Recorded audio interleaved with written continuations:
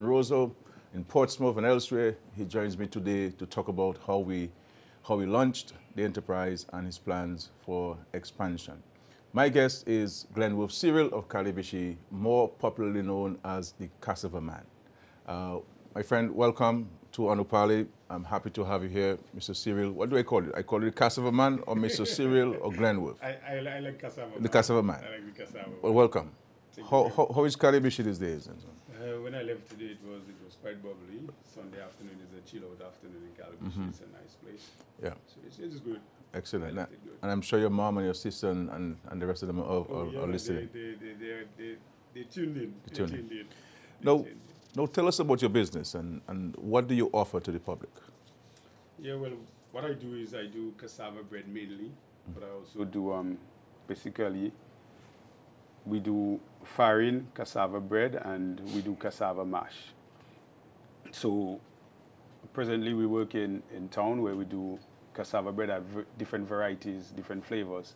We do raisin, ginger, cranberry, banana, um, pineapple, chocolate, and the plain one for people that don't like sweet. Swiss. Yeah, and then we just newly introduced the cassava wrap, which is a, a bomb right now in, in the country. Excellent. Now, you, you have taken advantage of the niche market um, with um, the cassava products. Uh, you, you're, you're now in town, um, in a busy, busy part of town, like old market area, the Soufrière bus stop, Scottsdale bus stop. How is this going? It's, it's, it's sometimes it's overwhelming because they like like you say, it's a busy part of town, and I guess the product is that good also. So we get there from about seven thirty, and from seven thirty to up till three four o'clock at times we have a steady flow of people coming and and buy different um, flavors and different varieties of cassava bread from us. So people are responding to this. Definitely, they, they, they love the vibes. Even on Friday, we left our original spot to work at, at We Church, and we had a few customers come and, and make a little complaint saying that you leave us dry. But that's, that, that, that's the feedback we get when working in town. And and, and the, the clientele is growing. Oh, definitely. It is definitely growing, especially with the new introduction of the cassava wrap. We just expanded our, our clientele and No, our what is this wrap about? Tell, can you tell us about the wrap? I mean, uh, what do you put in it? The the cassava wrap initially it started. A friend of mine sent me a message of. Uh, she sent me a, a picture showing me uh, somebody doing cassava sandwich, and I'm like, but hey, I have something even better than the sandwich coming out, and it so happened that it was the independent season, and I, in my mind, it was the best time to to launch that that that product. The, the cassava wrap really is a, a cassava based skin where we use the the cassava bread, the base of the cassava bread. We make a thin skin and we wrap the the cassava with um, cheese, with ham, with bacon, with salt fish, with smoked fish, smoked chicken, smoked pork, and we have a very special one coming out this Friday.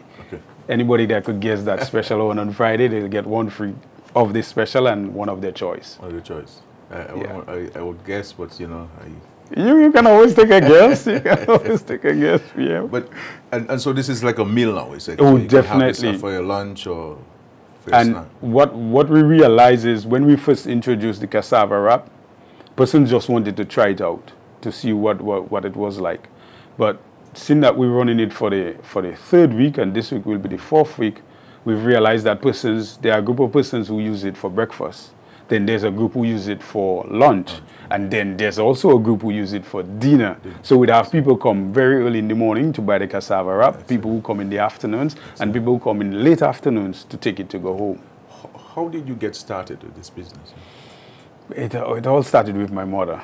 Really, we, we, we always grow cassava. Calibishie is a cassava growing. They always do farine. They always do cassava bread. But what really happened was one time we had some cassava planted, and my mother decided on a Friday that she was going to dig some cassava and try like a cassava bread. Mm. So she went home the afternoon, probably about 30 pounds. She grated that, squeezed that, do her thing, and at the end of the exercise, I, at the time I was living in Jimmit, and she called me and said, me, Glenn, you don't want to know, I just make $150. I say, Mom, you doing what? She said, I just make some cassava bread and that going like, like crazy. I said, Mommy, I coming up and check you tomorrow. So I went up the, the Saturday and we went to the garden, we dig some more cassava and we prepared that. And as fast as we could make the cassava bread at the back of our house on two stone and a piece of copper, as fast as we could make it, that's how it was going. And then I, the idea of cassava bread hit me. And from there, it was like a weekend gig. So every weekend, I would go up and I would do cassava bread and go back down to look after my child and be in town. Until a cousin of mine in St. Croix, which a very play a very integral part in, in, in me as the cassava man, I would send cassava bread for her in St. Croix through Hummingbird. So I would do the cassava on Thursdays. I would do the cassava, like 40 cassava bread, send it up, by Friday, she called me and told me, Glenn, your money ready. Because she had already had it pre-ordered and sold. So she was selling, she's selling them in In St. Croix. So we did that for a while until she told me, she said, but Glenn, you, you need to find a way how you can do the cassava without the stone and the fire and all of that. Mm. And then the idea came into my mind to use a flat top grill. Mm. I know a friend of mine who had a flat top grill. I borrowed it from her and I tried it out to see how well it would work. Mm-hmm. We went to one of the events, I think it was a convention in, in Londonderry.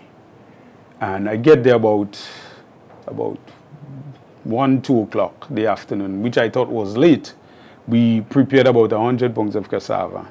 And I say, I'm going to try it out. We went there and my God, I never know people could work so hard. Yeah.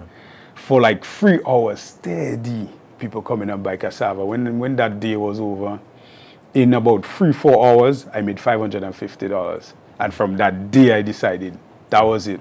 That was that was that was my so, thing. So you started off in in, in yes. and you branched out to. So we we've been working in Calibishie like every other day. We would do Monday, Wednesday, and Friday, and then we realized, yo, people keep coming, so we started doing it every day. But we were doing a very small amount. And then a friend, another friend of mine tell me, but Glenn, you don't want to come into town? I have somebody I could talk to and probably they'll let you get a liquor spot in town and then you could do your thing in town. And when I came into town, I think the, the, the, first the first day I work in town, I was like, okay, well, town is the vibes for me now. And I cannot go back to Calibishie and work in. Because we did, I went downtown with about the same, about 150 pounds of cassava process and because I didn't know what to expect, I didn't know how the people then would react to, to the product, and boy, it went it went it went well. So from there, we started working in town up to today. And, and, as I understand it, you you also do a special event. So someone who is having an activity, an event, uh, can engage you, and, and you come on site. Yes, correct. We, we, we, we have two event style we, we do right now, mm -hmm. where we could bring our whole production and make the actual cassava bread on site. Like we, we, we, we did um, World Creole Music Festival uh, for three years, where we did um, cassava bread inside of there. Um, we also did for individual parties, where we come with the full, the full grill and everything, and we just make. We did one for um, the Pork Festival they have in um, where, no, no, not not the pork, the rabbit. Rabbit, in, uh, rabbit fest. Cochrane. In Cochrane, yes. So we, we also did the rabbit fest in Cochrane and a few other activities, but also what we do too, just like the what I sent to cabinet on, on Tuesday, we do things like that where we pre-package the, the cassava and we, we cater for mm. the, the, the, the, the, clients based on, on their needs. Mm. Excellent, excellent. Now, talk to us about the, the, the process though, because uh, I mean, I, I know how we made cassava bread before. I mean, you know, we had this um, cast um, the pot, you know, and you have to be in the fire and the smoke and so on. Um, but you have taken it to a different level. Can you share with the listening and viewing public the process? Well, I, I, I'm always a modern thinker. I always like to think ahead and how to make something better, how to make a process even quicker.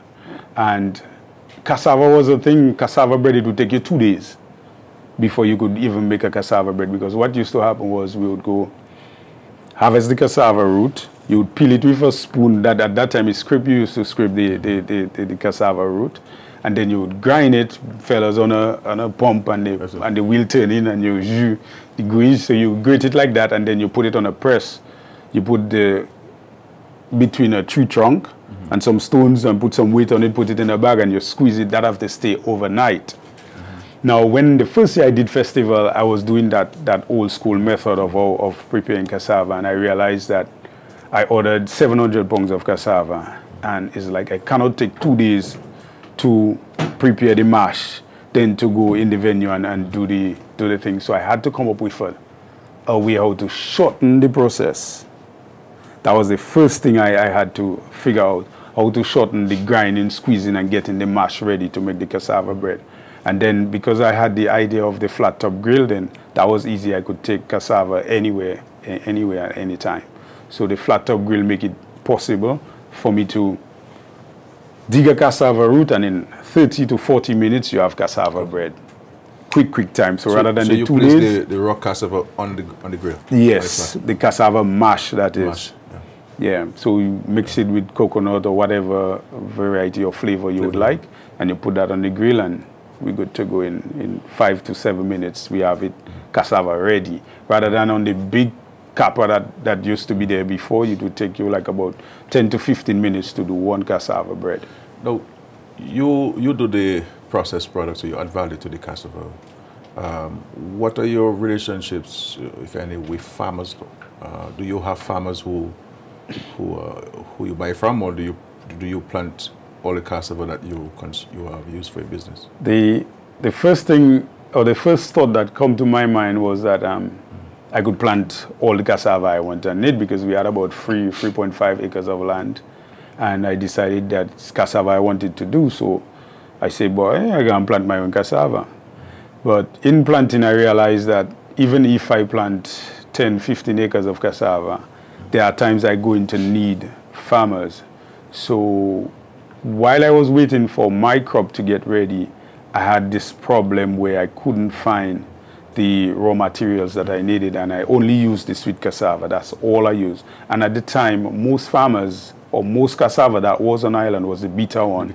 And I, for some reason, I just don't like using it because of the potential um, risk that, that, that, that goes with it. So I always wanted to do only sweet cassava.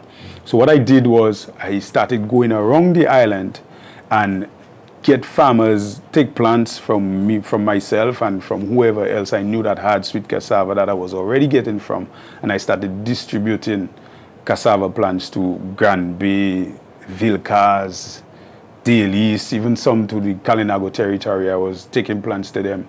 And right now I have about, I, I set up a contract with, with farmers. I, I am targeting 15 farmers where I want to have them on full-time contract with me and use my personal stock as a backup for like if anything happen between my farmers, I can go to my farm and get my own. So we have about 15 farmers that I'm targeting. I already have five of them signed on to the contract, agreeing that they will they will supply me, and they, they, they're all around the island. We have in Grand Bay, we have in Kalinago territory, we have in Calibishie, Woodford and -hmm. So we, we, we, we, we have a, quite a good relationship. I would tell you just in the past month and a half, I've been taking steadily from this one farmer, and we, we're doing well, and now her stock just finishing, so I'm now looking to go to the next farmer to start taking from. And weekly, how, how many pounds of cassava do you purchase from the farmers? Before COVID, we were doing a thousand five hundred pounds, but now we're just getting back to the groove. So we write about 900, trying to work back up our way to the thousand pound level, and that's just working in town. That's working in town. Yeah, but before COVID, we were in both Portsmouth. We were doing some in Calibishie and in Roseau, but our main spots we were working at was Portsmouth and, and Roseau. And Roseau. No, any plans for further expansion? Oh, well, my head is a big head.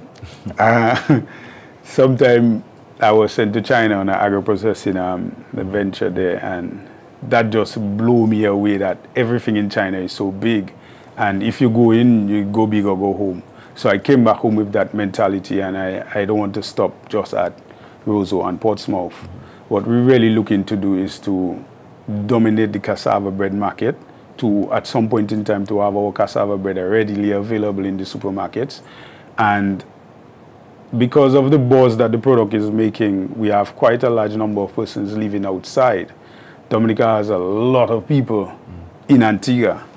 There's also a lot of people in, in St. Martin and, and the different islands, and they keep calling regularly, even in St. Croix.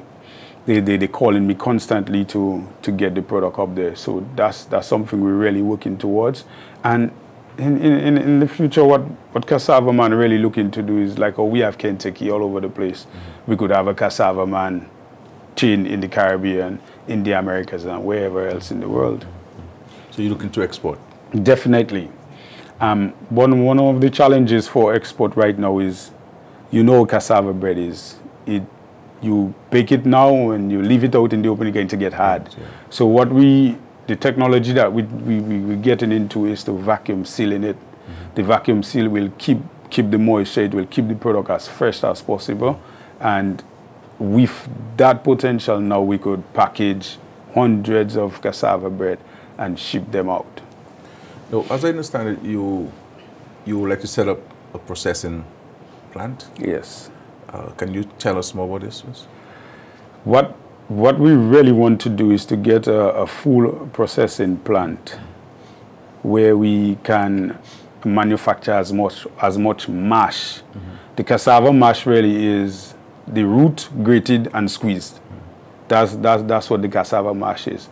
Now, the potential of having as much mash is, imagine you have a, a bakery and they want to do blended bread, where you use 40% of white flour and 60% of cassava mash the amount of cassava mash that will be needed just to supply the bakeries for the blended bread. Also, if I look into increase my cassava bread and cassava wrap and products, you, you're talking a week, at least 10 to 15,000 pounds of, of cassava we're looking to process. Now, where I'm processing right now at the back of my house, that's just not, it's, not, I'm not capable right now to produce that amount. So this is what really causing a little drawback and a little setback into really expanding to that mode. So what, what, what the facility, what the facility will do, it will provide the space, it will provide the, the atmosphere and the, the, the proper, um, the proper facility to, to process as much um, cassava mash as possible. And, and so where are you with this expansion? in relation to that, before COVID, I had already started um, works on getting the drawings done. I had a, a preliminary drawing done for a, a, factory. I already acquired the land. We already have the land. And what, what I really, what really slowed down the whole process is the access to financing and to, to, to do the project because in my mind I, am no I doesn't do construction. I went to a, a, contractor, I went to somebody and I said, brother, I, I know you do plans and so on. Um, can you do a drawing for me? And based on that, I took it to somebody who would do um, do my bills or quantities. I say, partner, I'm looking to do a, a, project there, but I want to only spend about $60,000. And with my $60,000, I expected to do it in a container, a 40-foot container where I would do the the grinding, the squeezing, and the sifting of the cassava. So that, that really was the intention, to just do a little thing at job shed at the back and a little office space on the other end. And when the man bring back the bill of quantities for me, the man gave me that thing at $133,000. And I'm like, Jesus Christ. We'll come to that 130000 in a while. We have a call. Hello? Hello? Good evening. Hello? Yes, sir. Yes, sir. Uh, we want let, let's get some Am I correct? Yeah, yes, sir. Yeah. Go ahead, please. Okay, the thing is, the product, the product is, the byproduct is cassava, but the name of the plant is not. Hmm. You know, so, so let's say now, you have the bitter matter and the sweet matter. And from there, you get cassava and farine, whatever. Sure. Okay. Okay. All right, my friend. All right, thank you. Right. Yeah. That's my friend calling me. Thank you. my very knowledgeable guy in plants. So, so. Um, but but have you also thought of equity participation? Well, um, investors coming in with, with, with money and invest in your business? I'm happy you asked that question because I just completed a training with DAIC and collaboration with the government where that was mainly the focus of, of, of, that, of that week. And I trust me, I was happy that I always say those things come too late, but it's never too late. Mm. It's, it's knowledge that, that we need to have. And during that course, I, I learned that my business is not really a business as yet because we, I, I, I didn't have a foundation. I didn't know where to start. I didn't know how to start. I just doing my thing. I make my cassava bread. I make my money. I save. I spend, and and that's basically it. that's it. But with that that hub, what what it did for me was it opened my mind as to how I can structure my business properly, where I'm now able to um, access investors. So what we're doing now is that we we already contacted a, an accountant to do our accounting and get our proper accounting. And then what we're going to do, the next move would be to re-register the business as a company. Mm. When we register the business as a company, what that will do, it will allow space now for individuals or, or, venture capitals or angel, angel capital to see that this is not Glenn Wolf Cyril business anymore. This is the Cassava Man brand. Mm. So they will now be able to, to, to tap into the business and, and, and offer investments.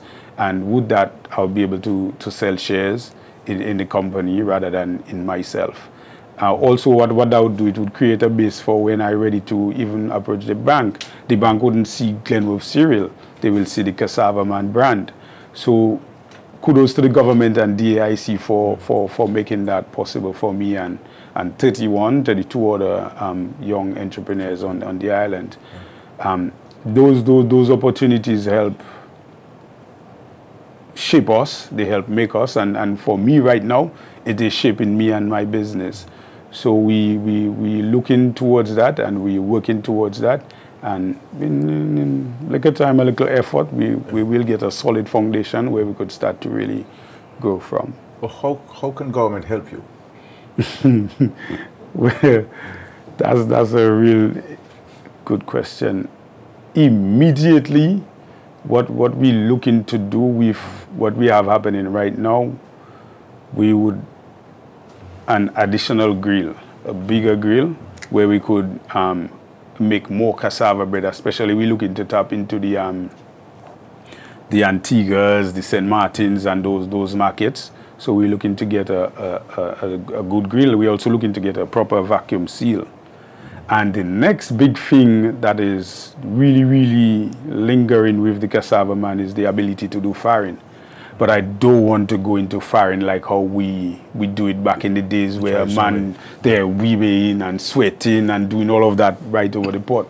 There are technology available right now where you just dump the mash in a, in a pot and it will do it thing after 30, 45 minutes. You have your farine ready even more than what manpower would, would be able to do. So that's something that I really wanted to get to get done, but COVID happened, so I had to pull that back and and trying to see how I can I can source it outside.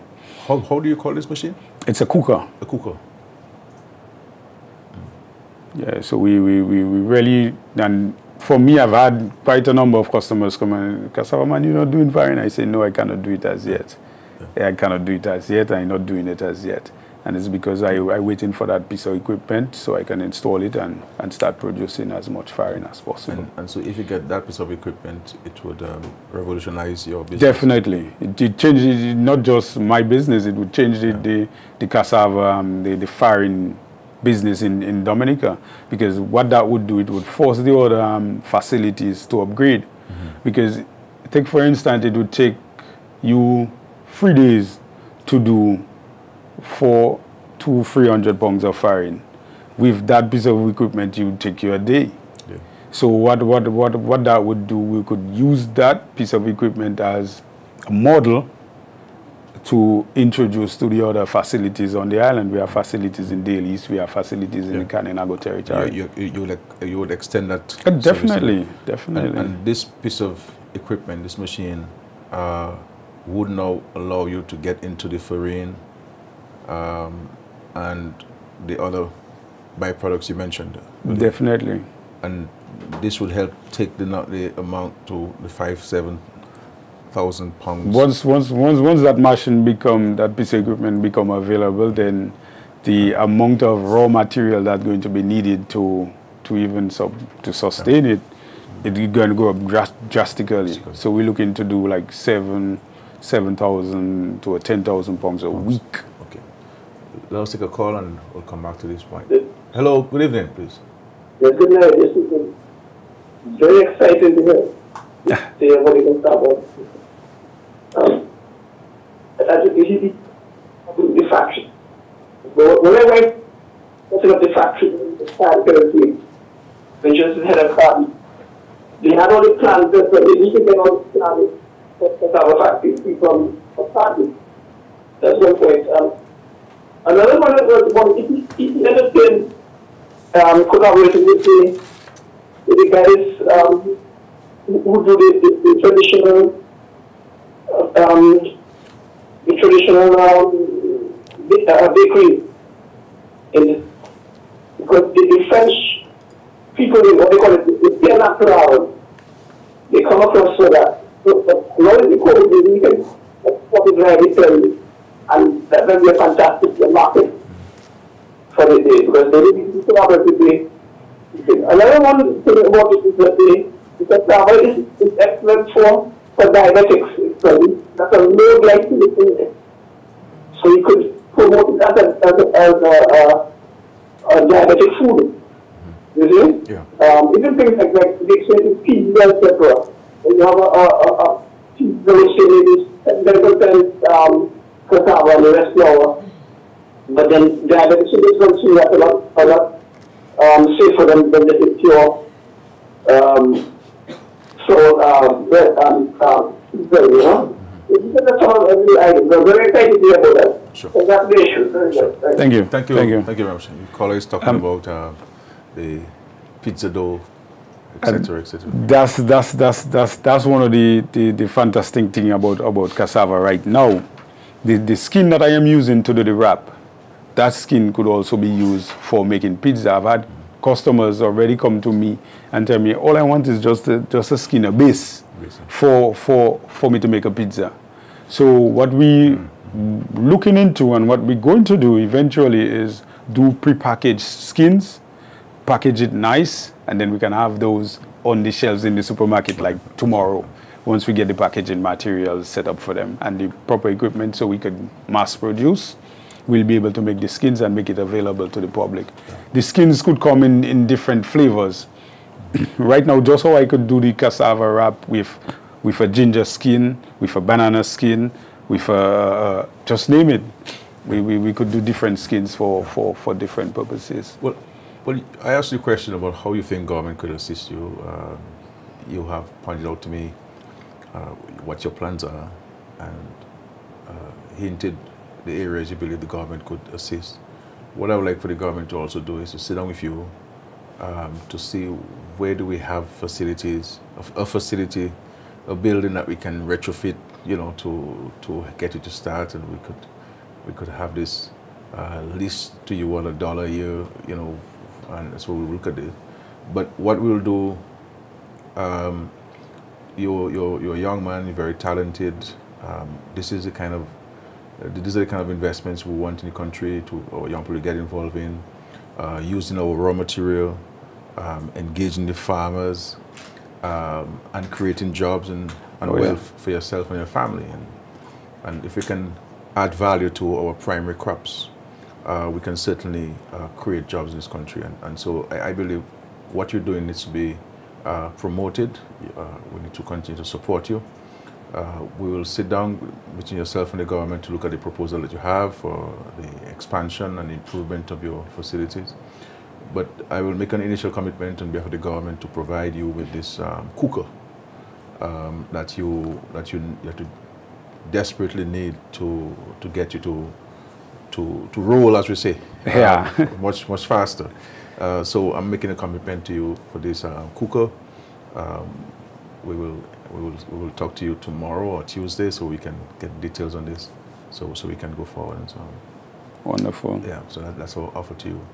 Um, in, in the, in the, and I'm, I'm, I- I'm very keen on, on seeing you expand to the point where we can export and we can have a factory and uh, we can have more people employed and uh, so, so this is, this is great and uh, and the, the number of young people like yourselves who are involved in this kind of enterprise. And I think with a, with, with a little push um, in a meaningful way, I, I, believe we can, we can get there. Not the 2,000 or 5,000 um, grants from small business, you know, to give, identify, you know, 25, 30 people like yourself and, and just push you forward.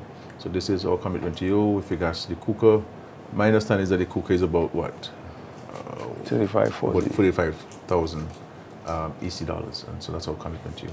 Any um, other bit of advice you have for me as Prime Minister of the country? Oh. Um, where, um, and also words to our young people out there? And but of course, I we, we could go until tomorrow, tomorrow talking. To, to. But first thing is, there are a lot of times that institutions, government, for for a matter of fact, seek to to to to show support to individuals.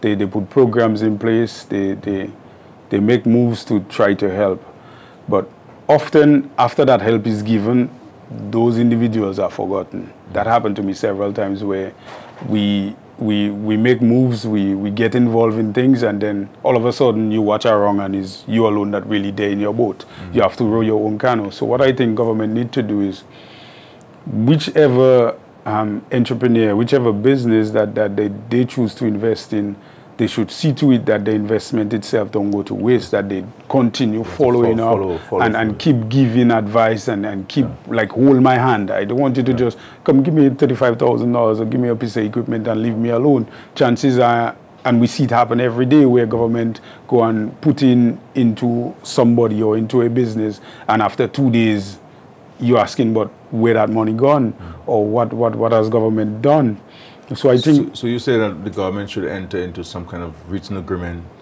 uh, with, condi with conditionalities. Con yes, with certain goals to be met.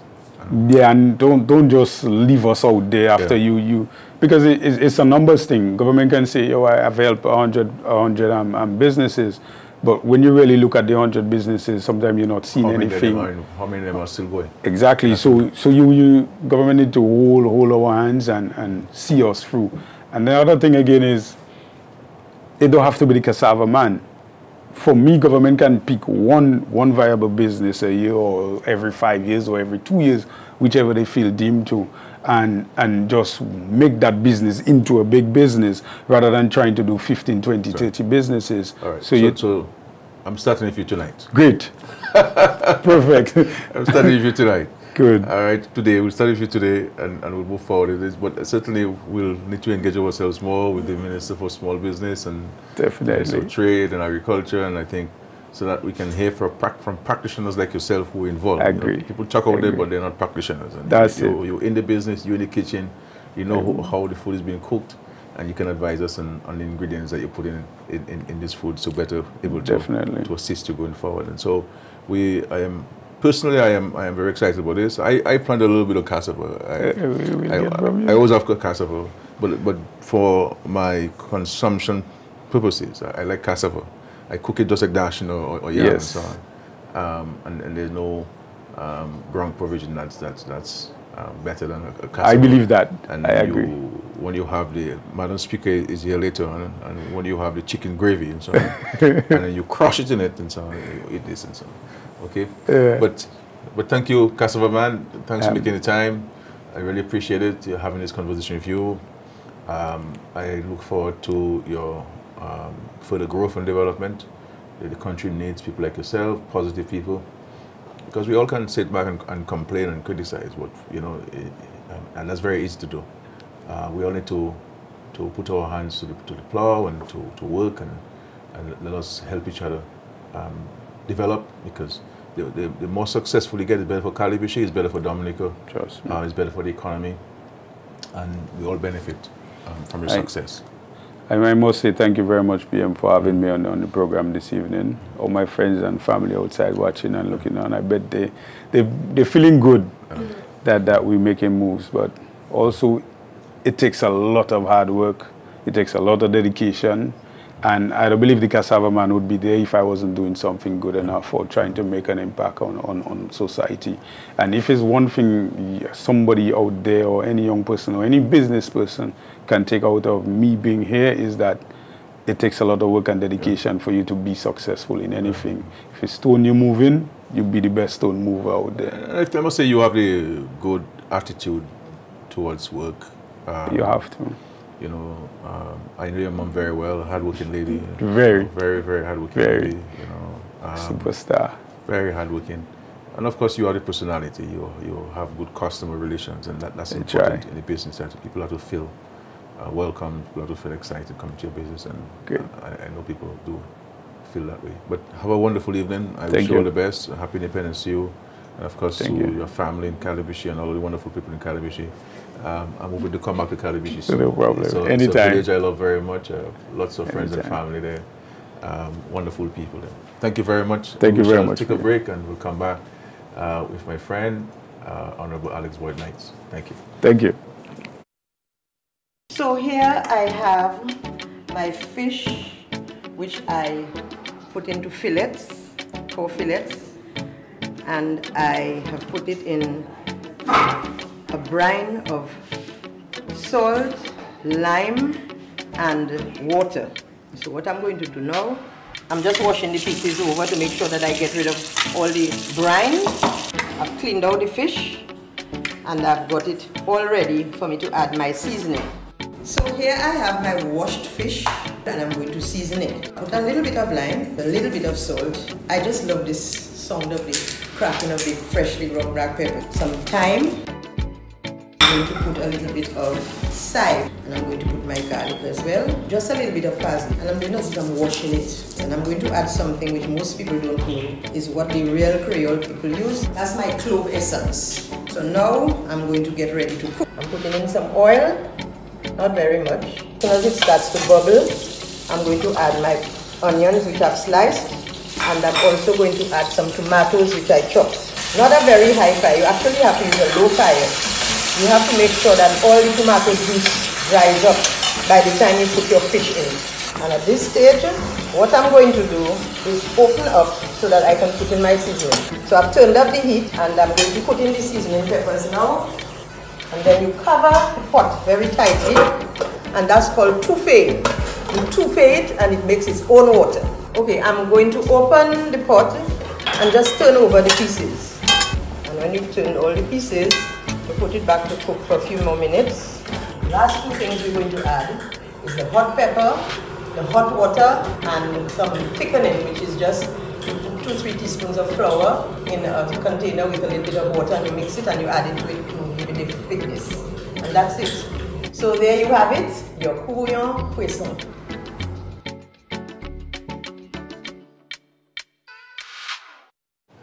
Okay, welcome back. I am joined now by Speaker Emerita, Honorable Alix Boyd Knight. Uh, she joins us to speak of Dominica's traditional cuisine. Um, Madam Speaker, lovely seeing you. Um, all decked up, the Creole Independence season. Uh, welcome. How are things? How are you? I'm doing much better, thank you. I haven't been well for a few weeks, but I'm getting there, I think. How are your white ginger lilies? Uh, your Oh, I still have a lot. I, I still have some for sale. I put in some more, so I, I have a few for sale. and as well. jacarandas. Oh, the jacarandas are going very well. I'm getting even offers from overseas. overseas. You know, Madam Speaker has a wide variety of plants. Um, you know, um, Rare ones. rare, rare ones. Uh, We've got some from Africa and where else? Um, really, most of them come from Dominica around Dominica. that people don't really take care of or recognize.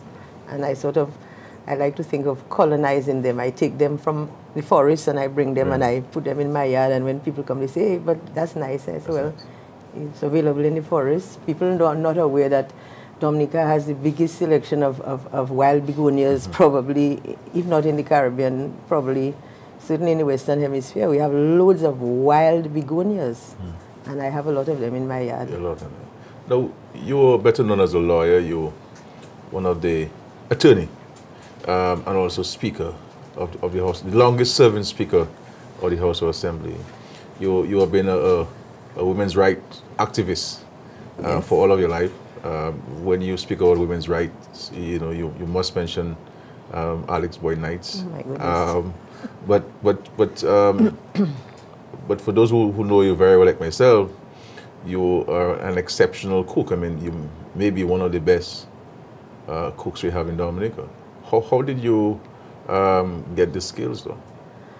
Mainly from my mother. From. My mother was a well-known cook in Dominica years ago, and um, she led the way in, in doing a lot of stuff. She was very creative in her inventions and so on. So she put a spin on a lot of things that people did traditionally, and you know, sort of give it a, a, a, a professional touch so that, you know, that she, she did her catering. I'll tell you one of them. Um, she, she made something she called sauce picks, where um, she boiled the sauce, the, the, the, the trotters and the, the, the, the hawk, and she'd mince it and season it very highly and gelatinize it, you know, using all the gelatinous stuff, boiling it down till it got really gelatinous. Put it in a, a square pan, put it to chill, cut it in squares and squares, and serve it with a cucumber dip. So that was a sauce. Everybody knows sauce, but then you get a sauce pick when you come to a cocktail party, and you feel sort of, you know, you're having something all but new. No, we know in independent, we know in independence season. um, Yes. Have you started making your famous crab axe? Not yet, because um, by the time they opened the season and I got to know about it, um, the sun had come out and we were in our TKRM. Yeah. And TKRM means panikwab. Crab. so what I'm getting of you, the last couple of days of rain is ensuring that I will have some crabs so that I, by later on in the week, I should have some crab backs. You, you, you've been advising the government on this um, hunting season, and, and you believe that we have the calendar wrong. Yes, Uh, Can you tell the, can you tell the public about this? I would love to, thank you. I kept wondering why we are having this closed season for crabs and what motivated the powers that be within the forestry division to come and decide that this is the, the time when crabs are multiplying, so therefore they have to close the season. In fact, you know what I found out? It was just a lazy man's job. They lumped all the different creatures into one season and they decided that, look, we're closing the season for one time. Actually, it should be differently. It should be birds one season because they don't, they don't um, um, set at the same time to crapaud, to crabs, to agouti. They all have their special um, seasons when they have their young ones, which is what you're trying to protect. But I guess it makes it easier if you just close this in and say, okay, fellas, you all can have nothing. Eh? Don't take anything. Leave it alone. And it's easier for them. But is it serving the purpose of a closed and an open season? Is it serving that purpose? I doubt it. But with the crabs in particular, when I pestered um, the then minister at the time to tell me why you all were having this crab season closing at that time, he told me they got a lot of information from South America. Brazil have crabs like ours. Mm. And the Brazil close, close season was from January to September. Mm-hmm. I said, but you know something? Brazil is in the southern hemisphere, you know, we should be doing the opposite. Mm-hmm. You know, and then people started thinking. See. So I maintain that um, we are not really paying attention to the really spawning of these various things. Even the fishes, they don't all need the same season. So that is probably what you all should get some experts to look at. So we can, because everybody is familiar with driving along the west coast during rainy season, May, June, July, and you're killing crabs, black is white, when they should be going in somebody's pot. So I, I- think we should reopen that, that um, conversation I think so. with the forestry I think so, definitely. I'd love to, thank you. Now, what are your other specialties?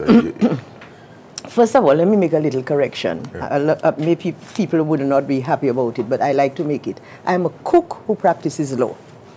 You're cook. Okay. Okay. So I, I, I got it correct now. Right. So what are the other specialties that you you'll be working on? Um, in lines of cooking, you mean? Cooking, yeah.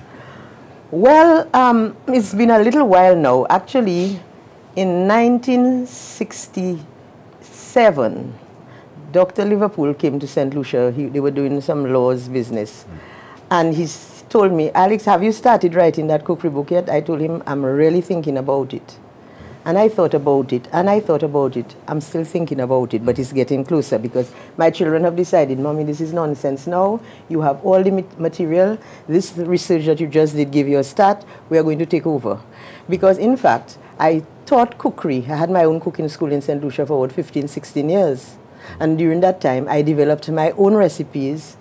I was able to write them and view how my various students over the years interpreted what I wrote. So I was able to hone a recipe into a position where when you read that recipe, even if you have no prior knowledge of cooking, mm. you will be guided through by the, the method to be able to produce the dish that you know somebody else who has all the cooking experience can do. So that, that was my motivation. And so I have all these recipes, like my few hundreds, and I have specific recipes. For example, I have developed 54 recipes for breadfruit. Mm. The main part, I mean, I hear people now talking about making breadfruit pizza. I was making breadfruit pizza, uh, pizza in the 1970s out of this special dough that I had um, developed with breadfruit. Mm-hmm. So you had this special dough, you could make breadfruit pizza with it, you could make breadfruit bake, which you just put a little bit of cheese on, because before we knew pizza, we knew other things. Breadfruit donuts, breadfruit biscuits, and different things. A bread, breadfruit coconut bake that was quite nice, and you know, so I, I have, as I say, about 54 of these recipes that I developed, tried and true. Yeah, excellent. Now, you make a, a, a main broth. I mean, I say broth, but people say broth. Braff. Um, and, and Dominicans generally are, are big fans of, of, of broth. What, what are the tips you have though for, for persons who, who like to have? There's a- somebody a here good who broth? knows and remembers me doing it on cooking classes. My mother taught us, and that's what the older people did. When you finish making your broth, most people put into a broth what they want. Mm-hmm. Because some people put fish and salt meat. Mm-hmm. Some people just put fish alone. It depends on, you know, what they like. So after you've made your broth and you've got it nice and tasty and using fresh seasonings, nothing from, the only thing you should take from a bottle is the salt. Salt. Okay? Having done that, what my mom would do, she would cut up some onion and slice really small. Then she'd put some parsley in it. Then she'd put some lime and garlic. And she'd mix it with a little oil. And she'd add it to the cooked broth. And that gives it a nice little taste, putting it a notch above the ordinary broth. That was her slant. So, so you use, you recommend that you use fresh seasoning. Of course, I grow seasoning in my garden. I have everything I need. No, no. Some people put in chicken soup, like the um, Maggi. Not, oh no. Yeah, I, I, I always tell people. uh, That's an well, it's chicken. offense. Yeah, it, it is. That's an I- I- offense I, against I feel the offended palate. by it. That's right. Yes, that's an offense. I think so. Yeah, and I don't like carrots in, in, in broth either. Well, my sweet. broth, I like, I like my my, I put my okras Yeah. and Christophine and, yeah. and and cabbage. Yeah, cabbage. I start off with the cabbage leaves at the bottom. I put all the cabbage shredded at the bottom. That's right. I put my provisions. If I'm making fish broth, the last thing I put is the fish. Yeah. The, fi- that's the fish goes in like 10 minutes before you shut off the pot. So we do. I, I, I do similar to. Yes, we were probably taught by the same person somewhere along the line. No, no. You also you also do a, a very good courbouillon au poisson. Yes, the courbouillon fish, yes. Courbouillon fish. Yeah. Mm-hmm. How do you go about doing this? Okay, well, you can use, I personally prefer to use either dolphin, kingfish, young kingfish, Kingfish, or tuna. Some people seem to think that tuna makes the best I, I don't like tuna. but some people don't like. But I'll tell you, the trick about if you're making courbouillon with tuna, it must go fresh from the sea to you. Do not put it in the freezer. freezer. Once you put it in the freezer, it's going to be a little dry. But Yeah. if you get it fresh, and uh, you know you have all your seasonings available, it's pretty good. So you got your fish. Um, in the case of tuna, okay, you don't like tuna, so let's do dolphin. My family do not want to see skin, they don't want to see bone. So I've got to fillet the fish and cut it nice. You're not bound to do all that. Some people love their bone and their skin. To each his own. You put, anyway, you cut your fish in nice bite size. Well, I would say about, I usually say two inches by about three inches is just about right and about an inch thick. So you put that in your pan as, as I and this way the thing. I put it in a brine first of all of water, salt, and lime. Yes, ma'am. Now you wash your fish in the, you leave it soaking and then you wash it out and you make your nose act for you you smell it if it's still smelling that fresh way put it in another set of lime and salt and water then you can leave it there while you prepare your seasonings i use a lot of garlic chive thyme seasoning pepper and something most people don't use in their fish but i do and that's clove Okay. now let Yeah, me stop you here use to clove, tell yeah. them clove. You ju- I make clove essence. I simply get a little jar that had in mayonnaise or something, fill it with fresh dried cloves, add rum, and two days later or three days later you have clove essence.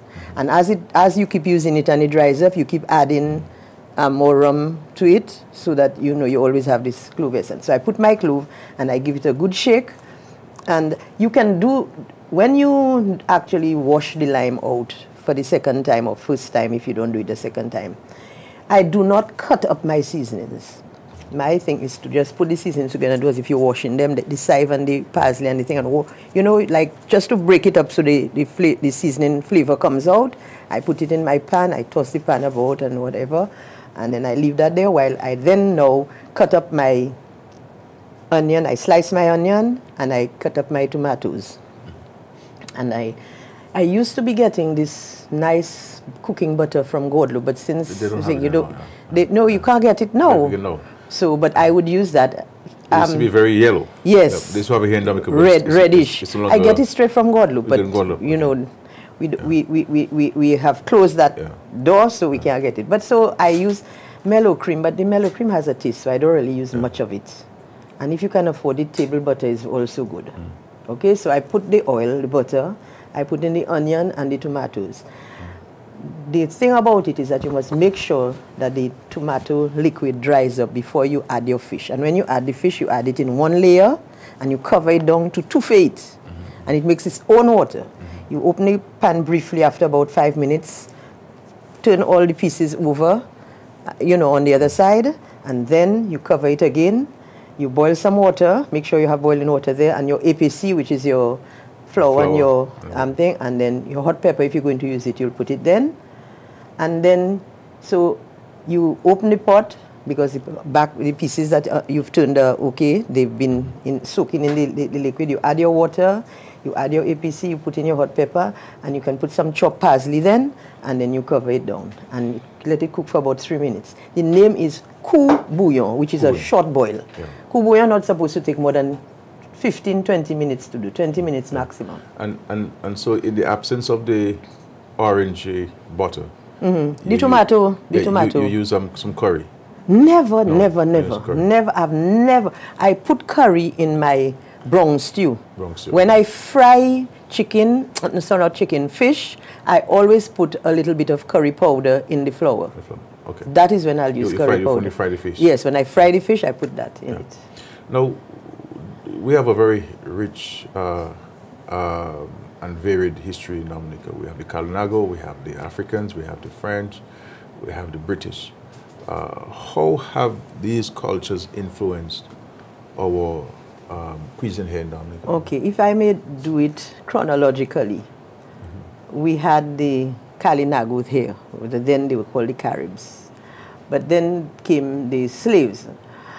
Interestingly, though, the slaves um, had the same sort of um, vegetables, when I say vegetables, ground provisions, I should say, as the Caribs, because they had sweet potato, they had yams, and they had taro, but well, which is uh, something like dasheen.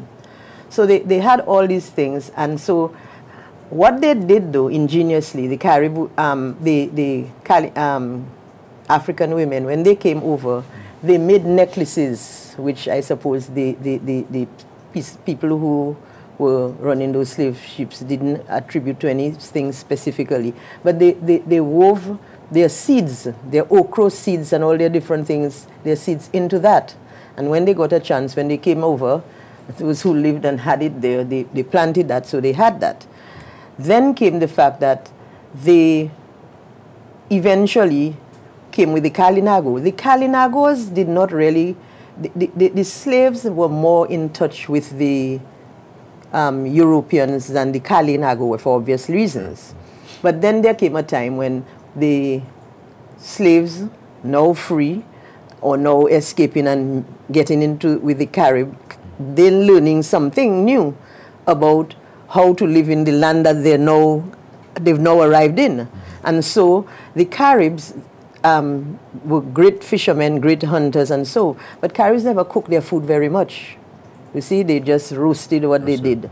But then the Africans now were, were doing more cooking at that point in time. Uh, the, and another thing is they both used um, mortar and pestle.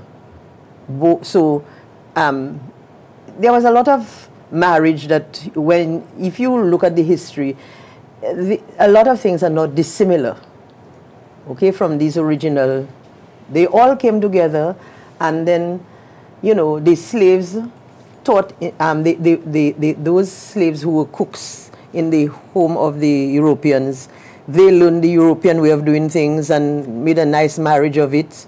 They, and they brought that home, obviously, to the others. And so we ended up with this lovely melting pot of what is the, uh, distinctive Dominican cuisine. An interesting development, though, took place, I think, when um, the slaves who were free, they became, I mean, owners of land and of their own means. By that time, the French had come in. They, yes, they were used to making their one pot things, but then they were introduced to a different type of soup, which those who, who were living in, you know, the middle class and upper class lives indulged in, and they made these soups that were first course because they were getting to be like the people that they worked for. So a lot of developments, uh, cross cultures and things took place. From the British, we got all of these lovely puddings that we, we, we, we, we make. The British also brought their way of roasting and stuffing as a, as a means of, of cooking, you know, and um, the, the use of custards and, and so on. The French were the ones that really brought the seasonings, and, and the, the, the French use a lot of alcohol in their cookery, wines and so. So in all, we ended up with something, you know, that is pleasant, or was pleasant, but I'm afraid we're losing it to, to, to macaroni. I see. so, so how much of, you know, how much of these um, traditions we have carried um, through up until today? Quite a bit, you know, really. Well, the cassava, we, we use it a lot, the farine. Um, another thing that we, we, people do it, but it's mostly a Spanish thing which they got from the Amerindians, so it, it seems it's a, a, a still there, is cooking food in, in, in banana or breadfruit, um, not banana, banana leaves, yes, and then they would also use corn to put yeah. things in to cook. Yeah. So they'd make things and put it that way. We don't do that much anymore. I mean, certain people depend on their, uh, for when Christmas reaches, some people, especially those with Trinidad ties, like their pastels, you know. But we used to be able to make, long ago, you'd, you'd, you'd have pemi, which is cornbread, and then, you know, we don't really have that. People don't do these things anymore, mainly because they are time consuming. And so, this is the very same reason why they rather use macaroni than piladashin, not realizing that there's something about our provisions that are life giving and, and, and, and, and contribute to our longevity, you know? No. no how do you go about um, making your browning for meats? Do you well, use sugar? Sometimes, sometimes, but originally the browning was done. Mm-hmm. People bought their meat on a Saturday, eh? and mm-hmm. in our neighborhood, you could smell Saturday night. Everybody yeah. was roasting their meat outside mm-hmm. on coals, mm-hmm. and you would see the meat. It was a sort of a, a braising tex- technique they used. You you see the meat. You add a little bit of water. You will see some more, but very very very few people in that era used anything like sugar. Mm. If you want to use sugar, I recommend that you, when you put in your oil, you can put, let's say, a pot spoon of sugar to cook about three pounds of meat. Mm -hmm. and then when, you know you put it the sugar in when the oil is really really, Really hot, hot, yeah. over deep fire. You put in the sugar and immediately put your your meat in it. The sugar is not browning, but it will add to the browning process of the meat because the sugar is there. I see. I see. And some people use soya sauce as well to get the, the browning happening. Okay. How do you how do you account for the differences in styles of cooking between the rural part of Dominica and the urban part? Um, well, that is because of what they were accustomed to and, and what they, they, they, they, they, what they had at their disposal. Okay, I see. What they had at their disposal, basically. And one of the things that I found out, which really surprised me, was that until about the early 1950s, most villagers did not have bread. Mainly because they didn't have ovens and so on. Uh, you know? And, and so it was only, let's say, in the, just after the war that people really started using what they call fawin fuss and, and, and were introduced to bread. We make roast bakes too. Pardon? We, we made roast R- right, yes. but they, they, they use more of the local flour that they made from the, the plantain Plant. and the breadfruit and so, rather than the fawin fuss. Very fast. Uh, we have a call, Madam Speaker. Uh, caller, please. Good evening. Yes, good evening, Prime Minister. Good evening. Good Yes, evening. Welcome. And also good evening, Speaker Emeritus. Uh, Speaker, I want to congratulate you. And Thank you. first of all, I, I want your permission to take a photograph of that dress you have on you. uh, but Speaker, ha, have you ever thought of, of having a book, uh, let's say a book to do with cooking? Uh, and also, I love your culinary art. I would, I would suggest that uh, you should have a little school, at least every three months, you can get 10 students to learn to cook, because I want to learn to cook. I love this sort of culinary art, and certainly your attire tonight, you know, you're well adorned, and I want your permission to take a picture while you're on the seat. I'm listening. Good night. Thank you. Um, um, I'll just tell you, when I came back to Dominica um, in 1990, um, I did cooking classes for about two years. And it really was a strain on me because of my, my, my commitment to my legal practice that was just starting off and taking off. So then I started doing the cooking classes on TV. Um, yeah, I remember this. I, I did that for a few I years. remember, I remember the famous uh, stuffed wings, Stuffed chicken legs. legs, legs. I showed you. I showed how to I- I- bone the legs and stuff them. And stuff I remember right. very well. Yes. um, one of I, um, it was interesting though where I started doing the classes. I shall tell you later. you Tell me later. I, I, I suspect I know. now, now, during the lecture at, at, uh, at the UWI Open Campus, Mm-hmm. uh, at the start of this History Week on, on traditional cuisine, you referenced the, the changes brought about by, by the Second World War. Um, can, Oh, can you tell us about this? It- um, well, okay.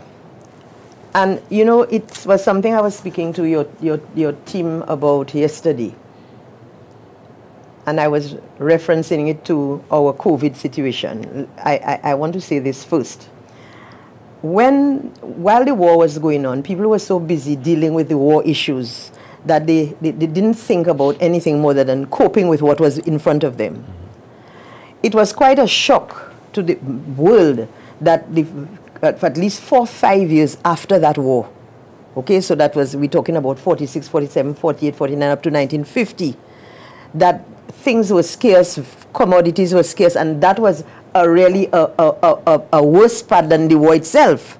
And that is, I was saying so to the young people. I was telling them, look, if you all think 2020 is bad, 2021, I, I'm, I'm, I'm guarantee you is going to be worse. Mm. Because it, when I think of what happened to the war, after the war, and the aftermath of the war, the scarceness of food and all these things that were happening, it might well be the same. I, I, I, I- believe it is. No, but to come back to your question was this.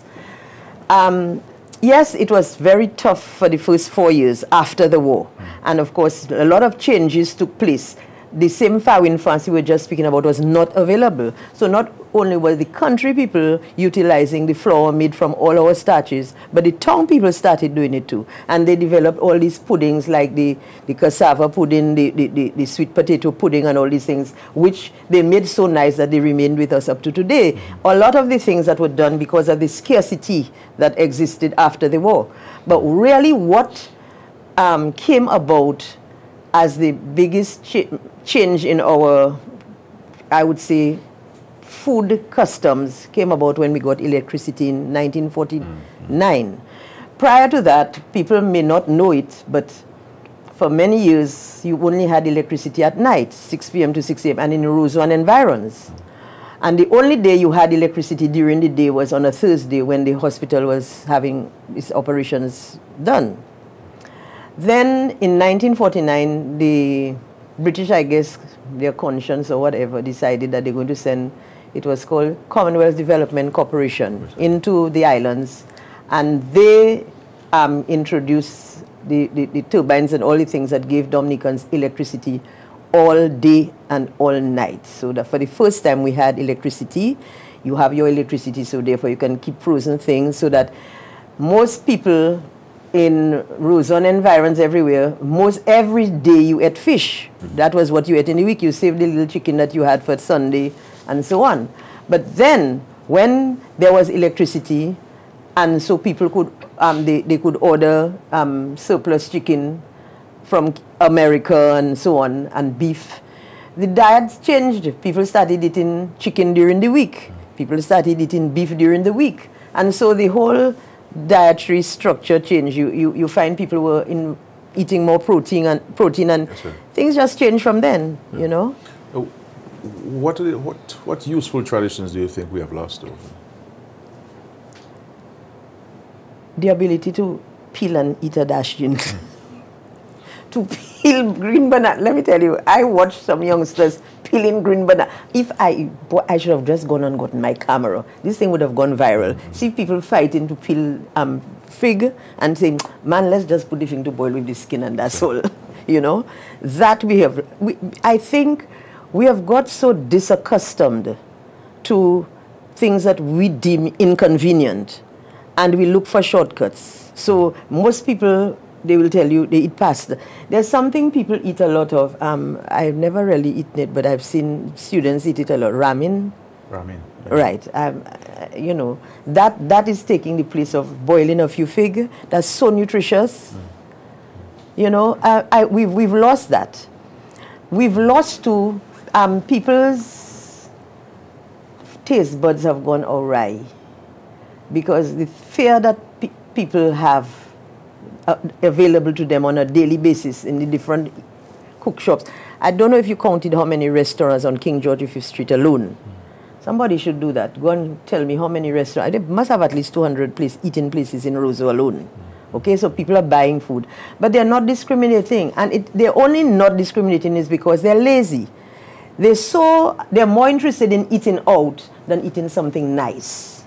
So we are losing a generation whose taste buds have gone awry. I don't know if you, I don't know. And then we use more more imported Imported season- seasonings and all this thing. They're like- always like using powder. and- and- Why? I have, right now, I have basil, um, sage, um, parsley, thyme, celery, shadow benny, but I don't really use it much. I also have um, um, rosemary that is available to me, yours for the picking in my yard. And I keep a little bit upstairs. So if I don't want to go You downstairs, downstairs, I have my Yeah. supply upstairs. We have a call, please. Hello, caller. Good evening. Hello, good, eve- good evening, Mrs. Uh, Knight, yes, good evening. and good evening, PM. Uh, good evening, sir. Good evening, sir. I'd like to ask you where Toton Peeling came from. Is it uh, Kalinago or the Black? Not Topile. Thank uh, you. Taught, well, you see, Africans pounded food in, in mortars with pestles. The Caribs also did it, but I think they, did, they didn't do the food itself. I think they were doing more of the things that they wanted to process.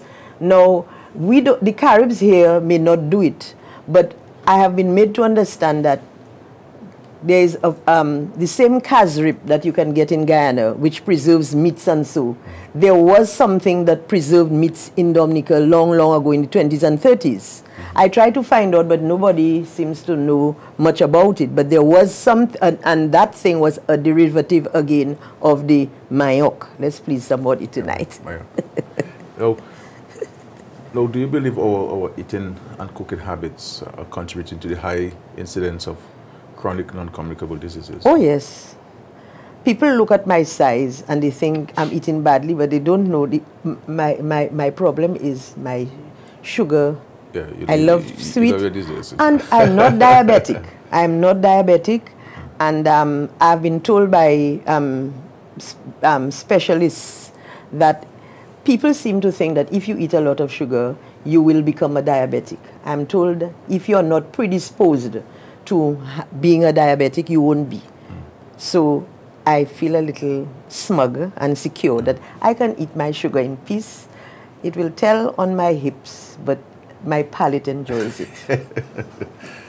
Oh, s- s- so well, how do we how do we arrest the situation though? Okay.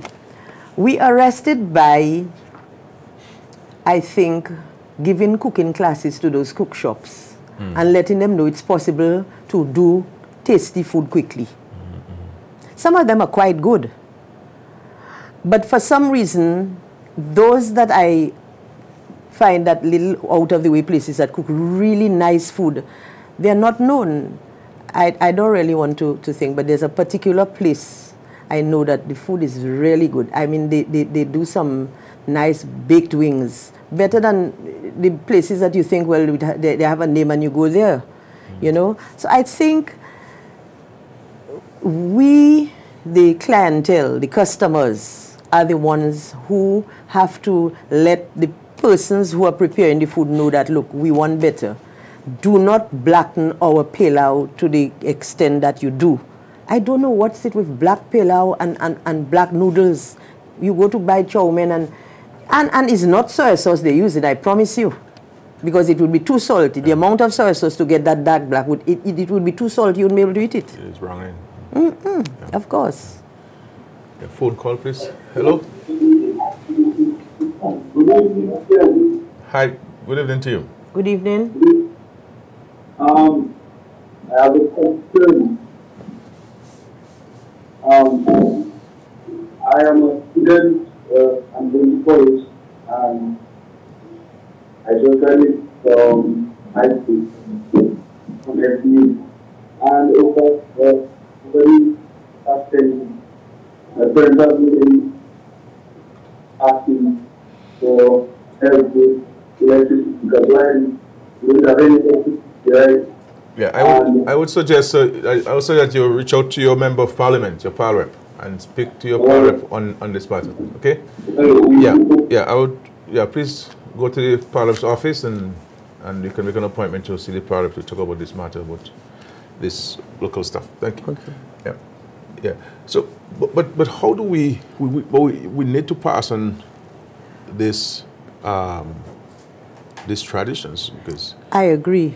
And that is why one of the things that I like most about Saturdays is that everybody in every place is making the, the traditional foods. Everybody has fish broth, they have um, um, tripe stew, they have black pudding, they have sauce, they also have the um, bullfoot soup, and all these things. And so I, I consider Saturdays almost to be a, a, a, a mini Creole day.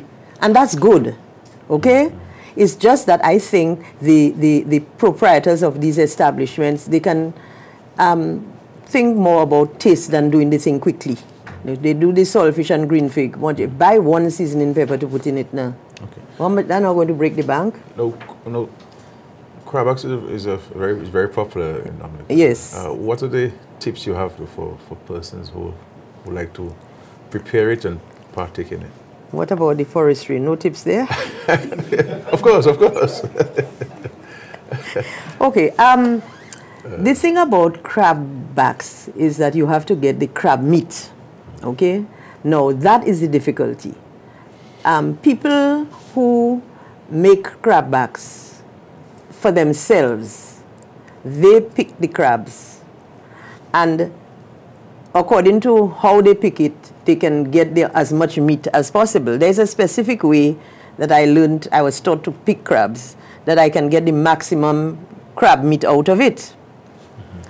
Having um, gotten your crab meat, you, you then, uh, the recipe is available. Uh, what I do, I, I cut up my onion and my chive, I have my garlic I have my parsley, my thyme, my I, oh, I prepare all my seasonings. But I use a, a, a food processor. So what I do is I put the garlic first in the food processor, then the onion. I put my oil, I put my, my garlic and my onion on low fire, and I saute it until it's nicely um, translucent. Mm.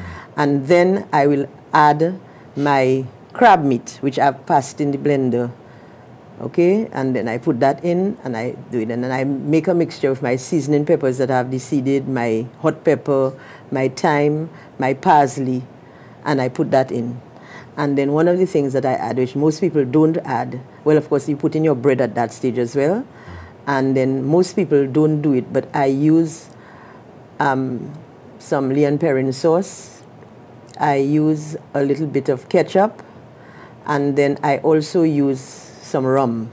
Mm. Okay, and that, that uh, you know, I, I the recipe the we I, I think have it on their website. Sure. I, I freely give recipe. I'm not selfish about it at okay, all. Great.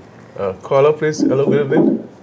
Hello, Madam Knight. Good I have another question for you. Uh-huh. I'd like to know, earlier on you were saying that our menus are influenced by the British, the French, the Carinagonian, and the brothers from Africa, the African being Spain. But what are the different menus recently created by Dominicans as we speak? Let us say in the last 20 years, something that has been created by us uh, in Dominica that we can speak about, actually. Okay, I would say um, one of the things that I, I can't speak for other people, but with the same um, um, breadfruit um, thing that I spoke of, the, the, the, the, novel ways in which people are now cooking breadfruit and different pro provisions really is a way that is new. Bakes and, and, and fillings is a relatively new thing what is also new is the fact that they roast the breadfruit, the, the bananas, especially in Colihaut, they roast the bananas and they stuff them with herring and saltfish. That is new too. The plantains, yeah. And the, the, the plantain, yes. And then um, we also, with the, the, the, the, same breadfruit dough that I spoke about, I remember um, when I used to do catering, I always tried to do at least one thing new for my clients. And one of the things I did was make stuffed breadfruit balls, but I stuffed it with smoked herring. Mm. And it really went down very well. So these are the things that we do. Pate banan is something that, um, you know, we, we, we, knew, we, we, we, relatively new. We, long ago, that was not was done. That was done. We also have things like um, the, the, from the other cultures that we have started doing, like roti we, we're doing the chow mein now, which is, of course, the Chinese um, thing. And so we're doing um, wraps, which is Mexican and so on. So we, we, we, we are open in our way to marrying the, the, the, the other um, cultures' um, cuisine into ours. So all of these are new. Um, I'm not averse to the idea of, you know, bringing in other cuisines. But um, I am a bit alarmed. Not only uh, when, the, not only it is that when they bring in these other cuisines, they, they, they seem to, the, that of itself is lost. The purity of what they're bringing in is lost. We're losing what, how we do stuff as well. You know, that is of greater concern to me. Now, as I said in the opening, we're in the independent season. Mm -hmm. This is the food time. Mm -hmm. This is the Creole food time. Mm. Uh, what are some of the dishes you would certainly recommend to us that we must partake in okay. for this season? Well, I, I like to start with my desserts. you must have your your your your bread bread pudding. Okay? Bread pudding. Yeah, I like bread pudding. I also like to do um, sweet potato pudding and cassava pudding as desserts. I like to do the sweets as well the I the, the guava cheese, coconut cheese, and all these things. I'm, so, I'm talking desserts now. When it comes to snacks, okay, I like the idea of um, the, the bakes that we do. But um, I think what, what we need to be is be, be a little more creative in the stuffing of the bakes. They do, they do um, the saltfish, they do the cheese, they do tuna He- Smoke herring. and so on. and smoked herring. But I don't think anybody has tried doing doing the um, the the, the uh, crushing the avocado and doing it the way the the, the, the, Mexicans do it and so that it, it tastes quite nice, you know. And so there's that. Then you have um, as well um, the different broths that people do, the curry crabs, the crab backs, the the. Um, one of the things that I have noticed is that while um, we say that um, Callaloo crab is our national dish, there is no standard. As many people as make it for you is different. I was hoping when they had this competition that crab backs would have emerged as the national dish. It is more distinctive because most of the islands do some form of callaloo, whereas the crab backs are not as you- common. But you would have a challenge with the very, very narrow hunting period. That would have been a challenge. eh? I just see a WhatsApp message where I say 160 um, restaurants in Roseau from the bridge into the city. 160. 60, yeah. That, that's an indictment on our people, eh? who uh, rather go out and buy a meal than cook it at their, be sure of what they're eating at their home. Yes. But, it's, but it's, good to have the restaurants. Yes, and, yes. I mean, people, Uh, yes, I think we need to go out more to eat, don't you think? no. And to socialize. And Yeah, to, well, yeah, well, and- not now. eh? When, when, ask me when. COVID is over. Right now, I think Yeah. everybody should stay, stay and try uh, get a, stay away. No, we, we don't have a tradition of eating out. I mean, I No, people but we, we, we do that at night. Yeah. Um, we used to. People would go around at nights and, and, and buy things. And the last place you'd stop was the place where they made the, the, the, the, the nice um, peppermint sweets. Yeah. And, that, you know, that was the dessert. And it, it had a little red blob on top. Mm-hmm. Okay? But so, so we have quite a list to choose from for independence. Um, from Oh yes, well definitely, and and and um, you know that's the one time we shine.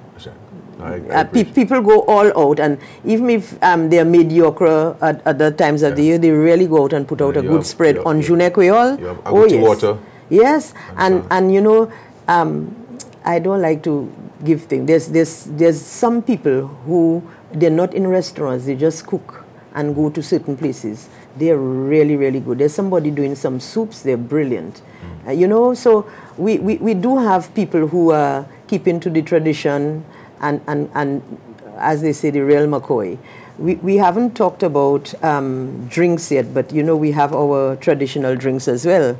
Rum, rum with puev, rum with whatever.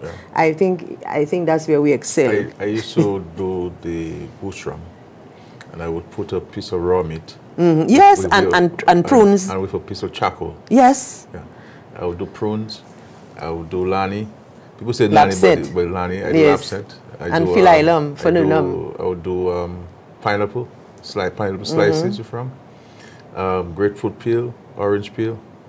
Uh, the men like mezemawi. For Oh. Mezemawi, Yeah, oh my goodness. well, that's the first time I'm hearing that one. And, and of course, you do puev.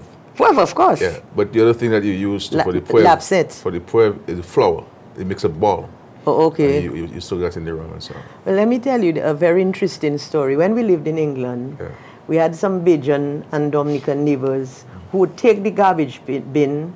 Hopefully, they used to wash it well enough, mm-hmm. and they would take the wrong, the white sugar and make make rum. Mm-hmm. And one day, I just happened to have been the, the, the, the, two house, sets of houses were back to back with a, a, a little track in, in between. The garbage guy came along and he, he's telling the fellow sitting there, a Dominican fellow, Where's your bin? He said, I've been here all day. Where's you been? but he was asking for his garbage bin. Eh? and, of course, we have the sorrel, we have the uh, Ginger beer. ginger beer. And let me stress again, ginger beer as opposed to ginger tea. That's, that's another thing that really doesn't take much doing. Yeah. Where you go to a restaurant and you ask for ginger beer and they bring you iced ginger tea. I- Okay, I ginger see. beer is fizzy. It's beer, for goodness sake. And it's very easy to make it fizz. Just as the sorrel, sorrel is supposed to be fizzy too. Yeah. But, Speaker, I want to thank you very much. Any final words of advice to us? Yes, I would like to see um, the the 100 and how many? 160 60 restaurants, restaurants. in Roseau and those in, en- the environs step up their game. Mm-hmm. Do a little less of what you see on TV on the other countries and let's keep to our own. Our own is very good. Let's not discard it in favor of imported stuff. You know, and right now, with the government's influence and assistance, everybody can have a kitchen garden. And if it is a small space, just grow your seasonings. You need not grow anything else but your seasonings. You'll be happy with that. So let's use our local stuff. Let's um, use our um, all of the wonderful ingredients that we have. Let's eliminate um, the use of imported seasoning. Yes, imported seasonings, imported um, um, pasta and, and, and grain, you know. Um, one of the things that I should tell you quickly, I discussed it many years with a doctor in St. Lucia who said to me that the best cereal for diabetics was farina and milk Farina milk. because apparently the, the, the, the starch in the farina is not as bad as that in, of the other cereals and flour and so.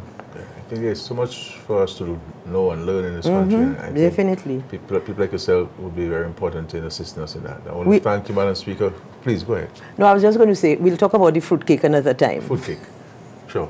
Thank you very much. Thank you Uh, very much for having me. having- Thank you everybody for listening. I hope I was able to assist you all in learning about your culture. I'm learning it myself, and as I learn, I like to pass on. But I still believe you, know, you may want to go back to your TV program. Maybe once a month or once every two months or once every three months. And we could do two or three dishes. I wouldn't and- mind at and, all. You know, so, so this would certainly be helpful to. I to don't mind at all. Many of us and so on. Uh, because as you know, there are many people who can't even boil water, I've been told. You know. These are the best people to teach. These are the best people to teach. To, to teach, it's, it's, Definitely, it's start yes. I agree with you. Uh, I, I don't want to call names, but you know, you, know- you know yourselves out there. Um, thank you very much, Madam Speaker. We'll take another short break and we'll be back. Thank you very much for having me. Thank you.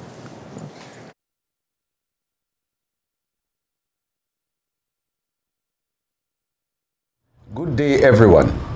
Today, the Ministry of Health, Wellness and New Health Investment would like to inform that since our last update on Wednesday, October 21st, an additional three cases of COVID 19 have been confirmed, which brings Dominica to a total of 38 confirmed cases, of which nine are active cases. These three additional cases have been recorded over the past seven days. The ministry is concerned that the public has a relaxed approach to the COVID 19 pandemic and to a great extent is letting down their guards. We recognize that we are in a festive season that is celebrating our independence and several mass gatherings have been planned. However, based on the protocols which we have been outlined by the Ministry of Health, community transmission could be imminent if these protocols are not complied with. Do you know why COVID 19 is spreading fast in many other countries? It is because people are not complying with the wearing of masks and physical distancing at work and are not sanitizing properly. Persons are not enforcing the use of masks by relatives and friends coming to their homes or when hanging out with close friends at bars, crowded and enclosed places. We must all be reminded that COVID 19 is transmitted by respiratory droplets. These droplets are expelled into the air when we breathe, sneeze, cough, talk, and sing, and they settle on surfaces that we make contact with. Then we touch our eyes, nose, and mouth, the points of entry for the virus.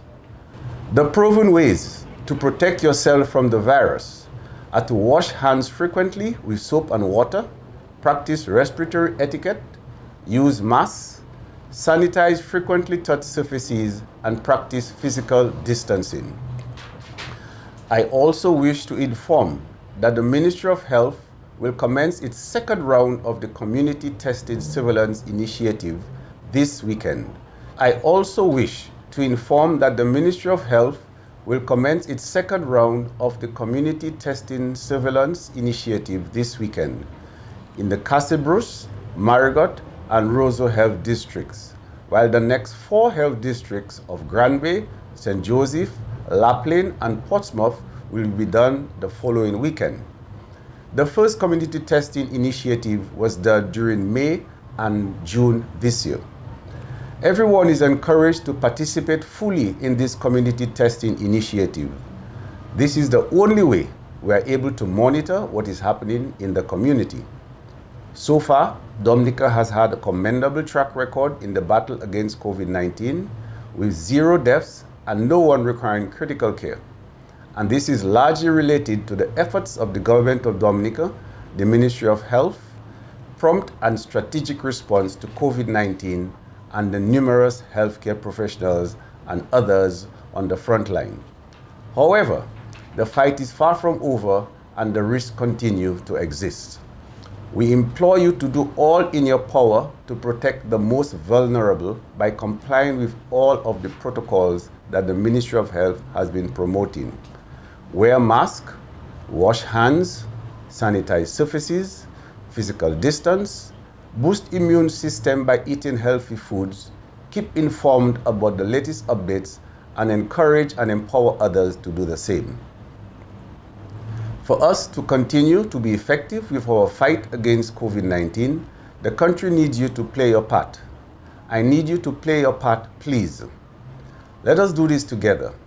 In the days ahead, I shall convene meetings with the churches, private sector entities, school principals, entertainers, among others, to review our effort to inform and educate the public.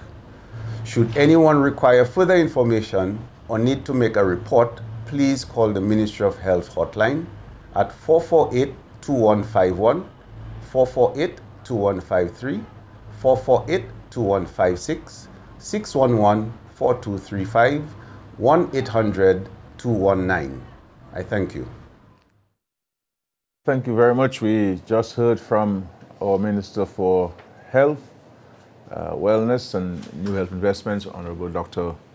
McIntyre, who uh, gave us an update on Friday evening on the COVID situation. So I will address the issue of COVID-19 in Dominica for the rest of the program. I will also uh, speak on the sitting of Parliament from tomorrow and the bills and motions which will be taken before the Parliament. And finally, I will give a very brief update on our efforts towards the construction of the international airport. Uh, first of all, we need to all take very good, um, careful cognizance of the recommendations of uh, Dr. McIntyre, the Minister for Health, and the caution which he has provided to us in respect to the concerns that he has as the minister and of course the, the government has um, in respect to how we are treating with COVID-19. First of all, he indicated that they, we will be starting, or we've started, um, the community testing in the three health districts of uh, Castle Bruce, uh, Marigot, and Roseau. The intention is to do the other health districts to get a a, a, clear picture, a better picture, a better assessment of how, we, how things are insofar as COVID-19 is concerned in Dominica. Um, the cases have gone up, as you, as you indicated, three cases, additional cases. Um, we are moving with contact tracing in, in those instances. Uh, and I want to commend the Ministry of Health and the, all of the uh, state entities that are engaged in in, in this operation. It's a very extensive operation and um, by and large, uh, they're very diligent in that regard.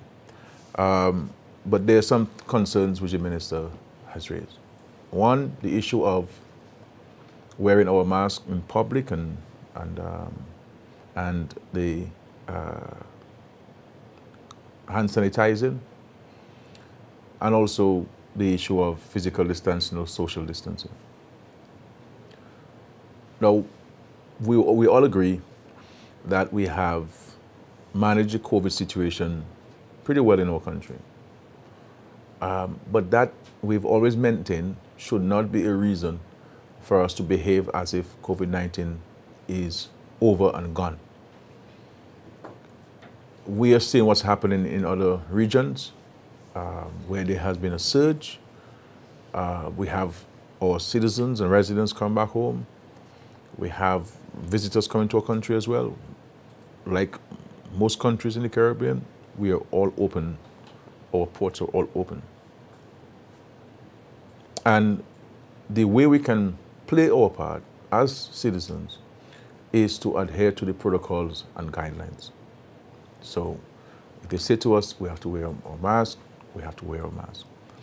There are concerns about the um, um, the fetes that are taking place, and of course, we are in the um, um, season.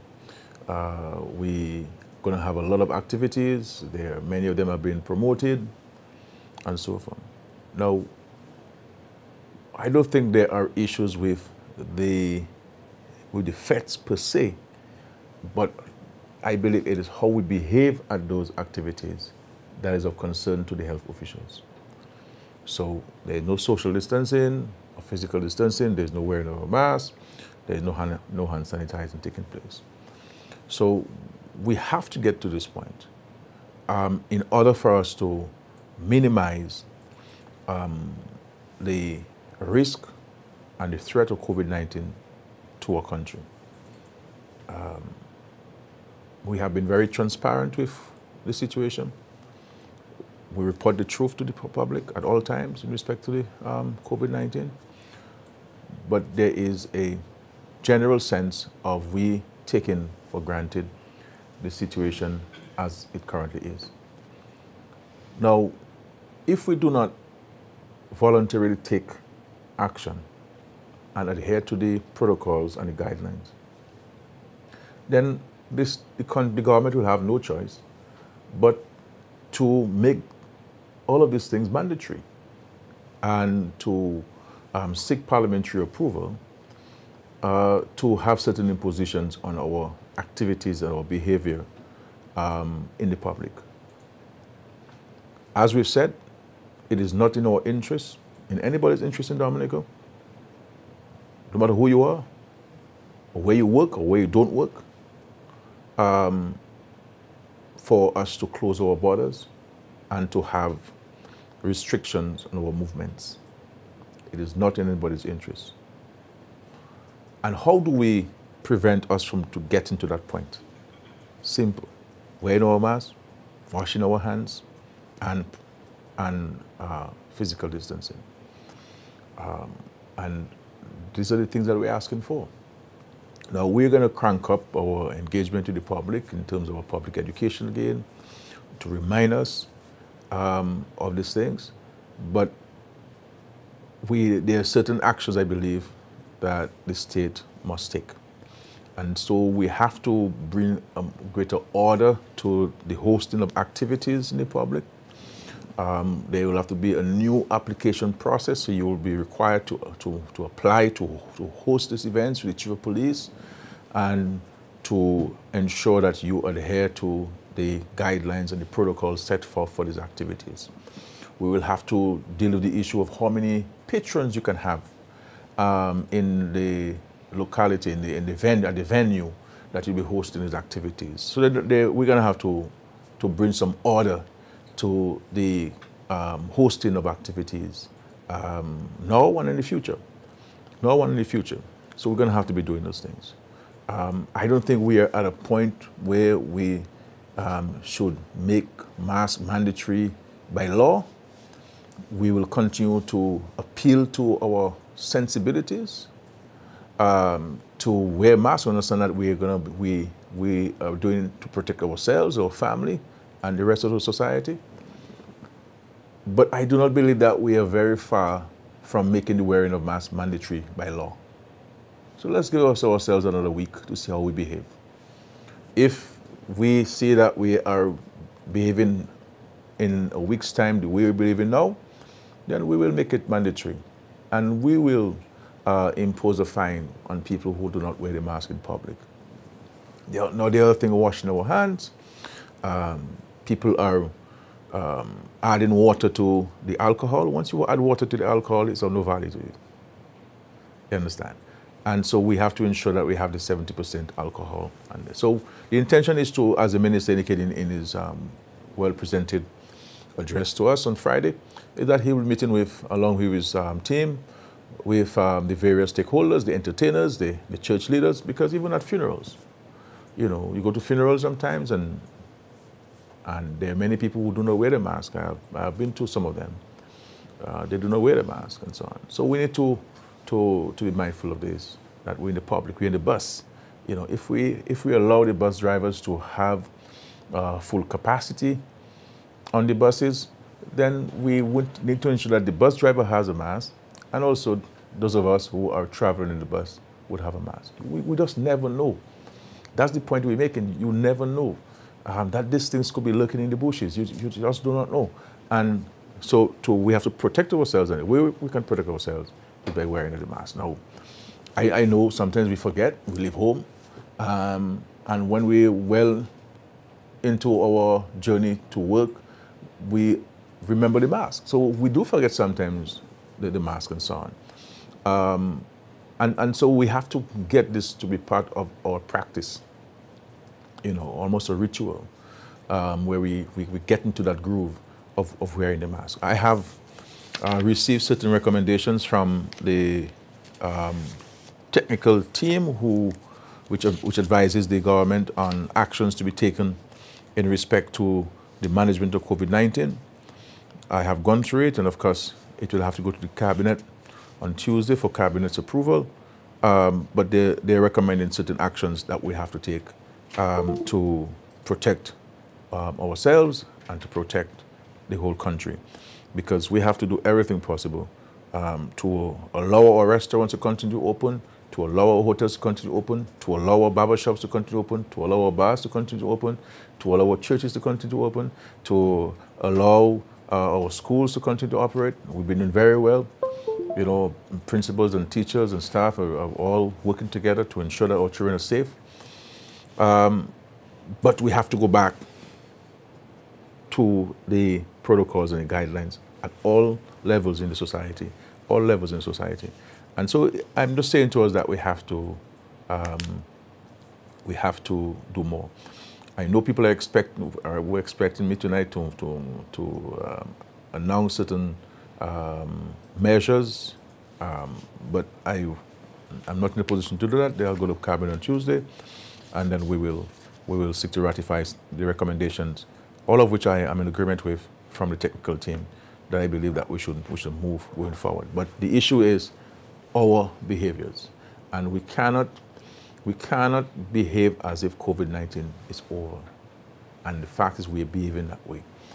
Um, and we need to recognize that we're protecting ourselves. Now, the other issue of information to the public, my advice, my sincere advice to all of us is that we should rely on the Ministry of Health uh, for the information on number of cases and who we're testing and community testing and the results of those tests rely on the Ministry of Health.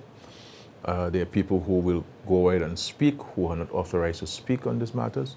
We have to respect um, the uh, confidentiality issues and let us not get into any state of panic. Uh, once there is a case uh, that has been picked up, the Ministry of Health moves in very quickly um, to, to start the contact tracing.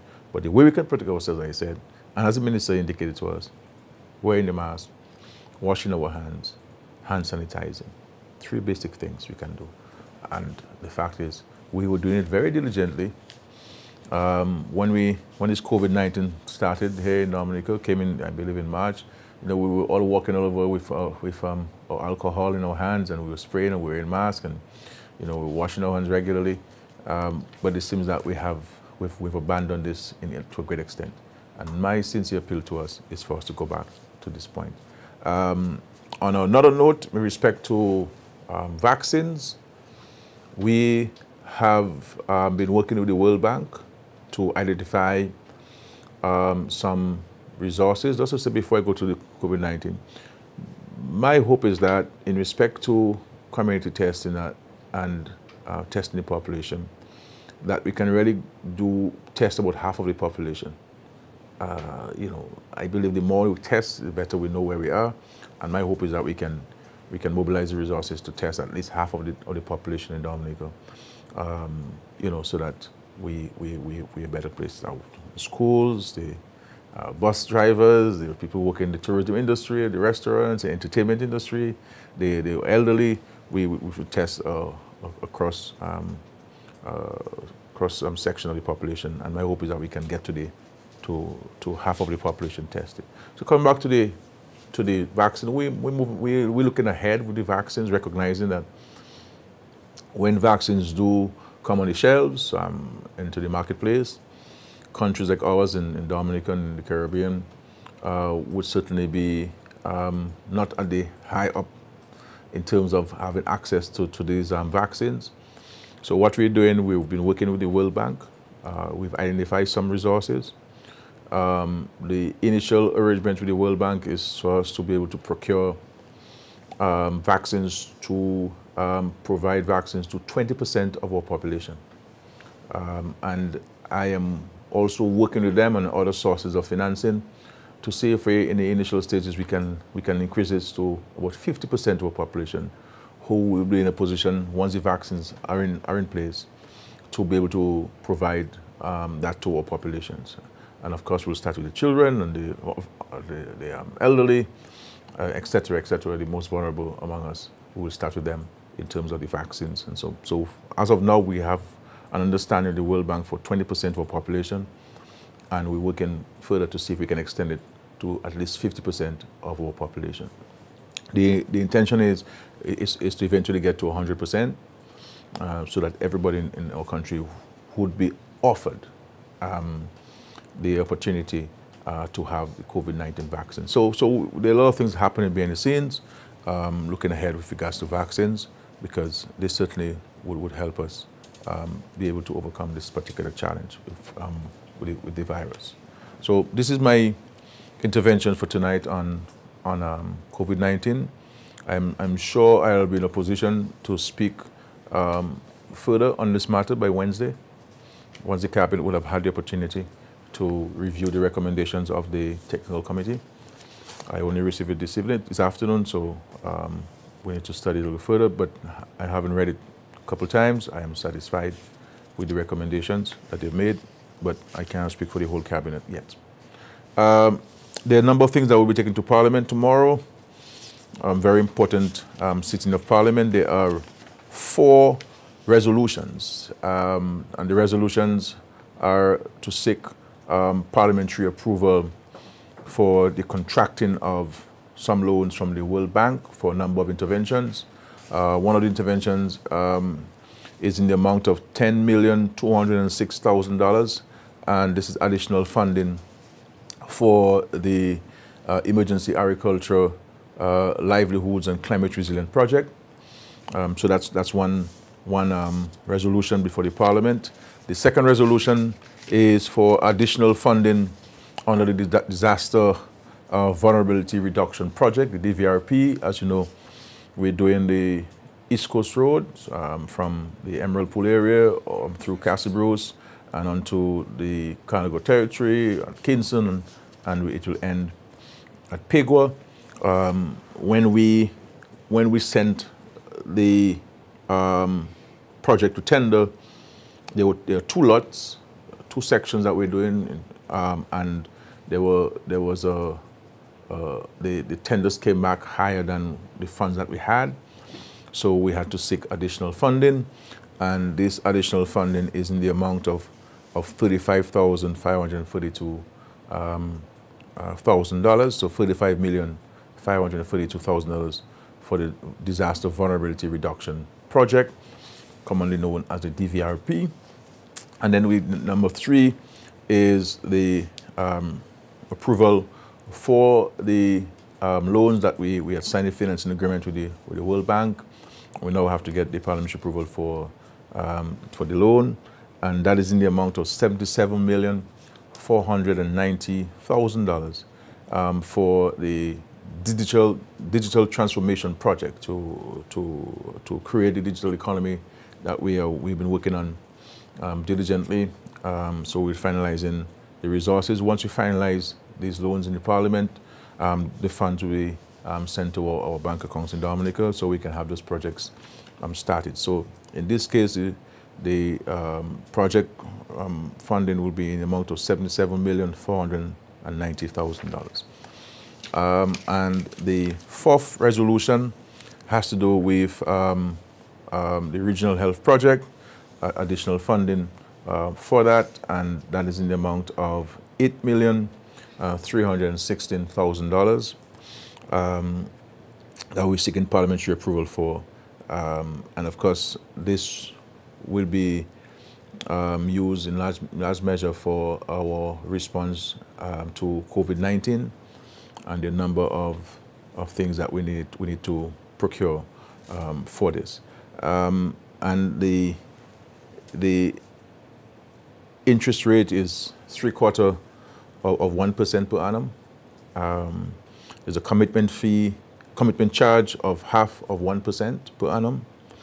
Uh, repayment is 50 semi-annual installments uh, commencing August 15, 2020 uh, with a grace period of 10 years. So there's a grace period of 10 years on, on these loans.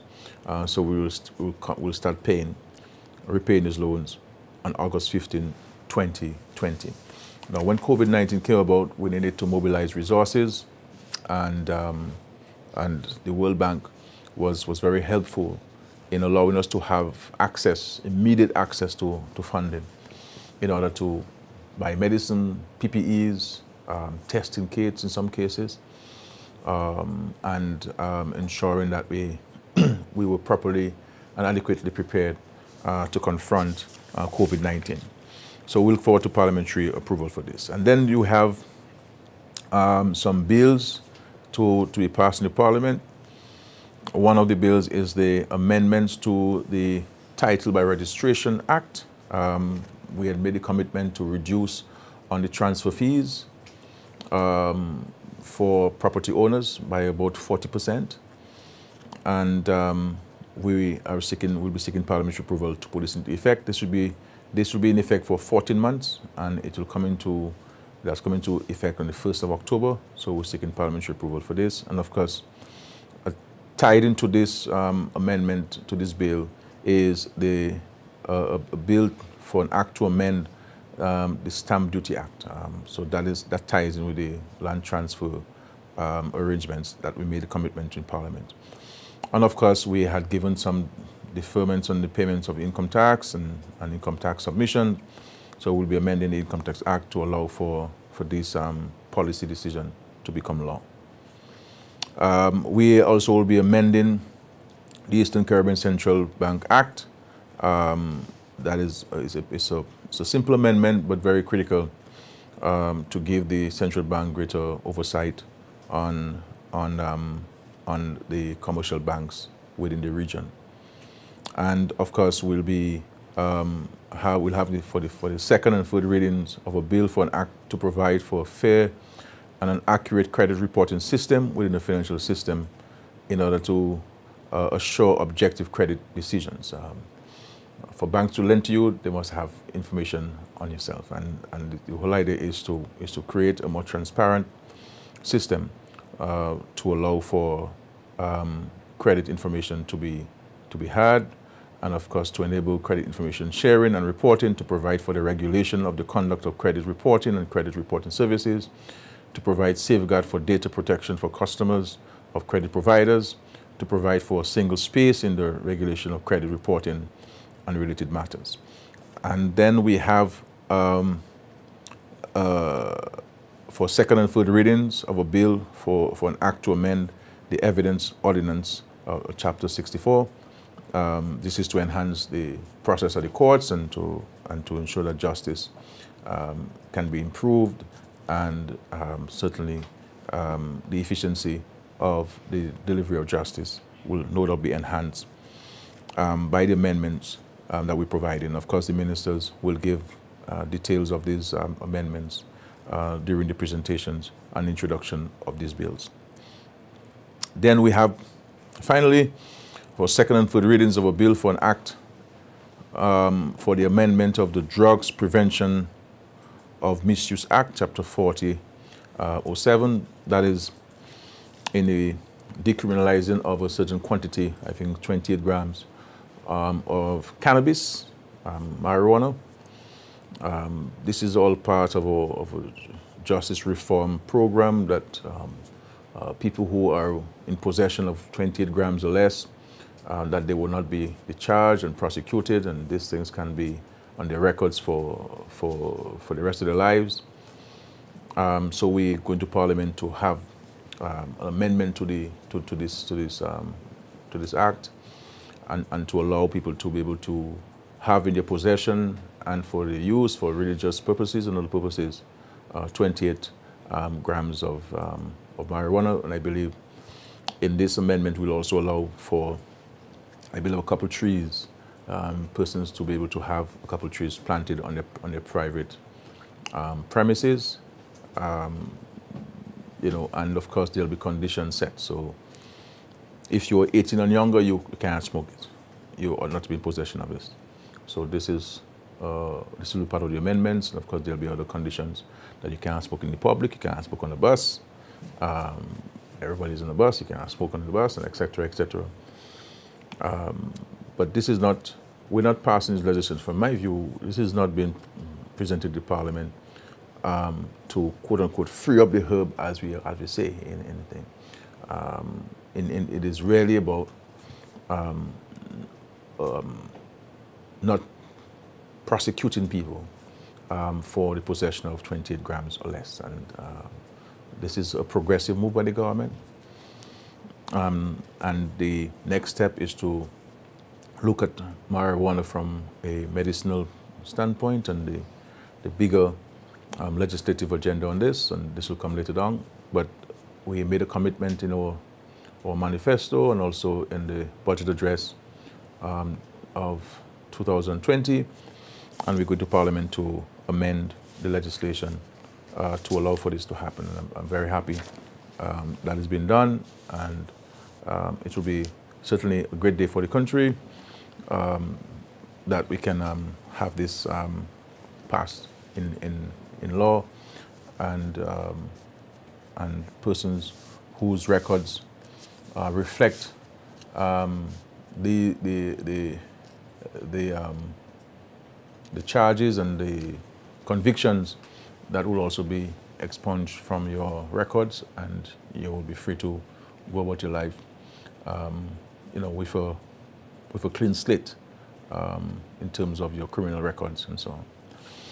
Um, the other thing I wanted to briefly, before I leave, is on the international airport you know, there'll always be misinformation and attempts to derail the project. I don't know why that is the case, but people get motivated by these things. People are not interested in facts. They're not interested in, in correct information. They're interested in accurate information. Um, they're all about seeking to undermine this country's efforts towards its economic um, advancement, you know, um, and it's unfortunate. And so there's a lot of, there's a lot of misinformation there. I can say to the property owners in Wesley, as I've said to them, I met with them collectively, I also met with them, I met with many of them one-on-one, that you will not be worse off having given up your properties to allow the state to build this airport that can assure your children and grandchildren of a possible better future with, with, with, with greater opportunities with the construction of this international airport. And the people who really have properties in Wesley um, and Eden and these areas have all been very cooperative. Very, very cooperative. But there are elements who, one, uh, have no properties for uh, that, that are in the airport path, um, and who have no connection to Wesley, um, are seeking to, to, um, to create confusion. But the people of Wesley are, are, are certainly much brighter than that and they have not been falling for these things. So they've been talking also about um, the site of 19 of um, that the United Workers Party has selected. We we brought in um, um, about eight years ago. We had reviewed that site, and it was ruled as not being a correct site. And then I, we decided as a government to bring in an American firm and I didn't go. I didn't go to China. I didn't go to Venezuela. I didn't go to Cuba because uh, people would have said, "Okay, well, these people are Skerrit's friends," and they'll just say, the, "This site is, is good. This is the best site." I went to the United States of America, and we selected one of the most reputable firms um, in the United States of America. And I said to them, "Look, you're professionals. this is the country, study the country and come back and advise me, advise this government, advise this country on what is the best location for the international airport. And they spent several months here studying uh, Dominica and looking at the various sites. And they came back with this location with three recommendations for the um, path of the runway. And did advise us on which would be the, the, the, best of the three. And we went ahead with the recommendation. That's how very professionally done. Um, very well done, professionally done, independently done, and we accepted this. The uh, people are saying, oh, this is the the runway would be shorter than Douglas Charles and big planes wouldn't be able to land.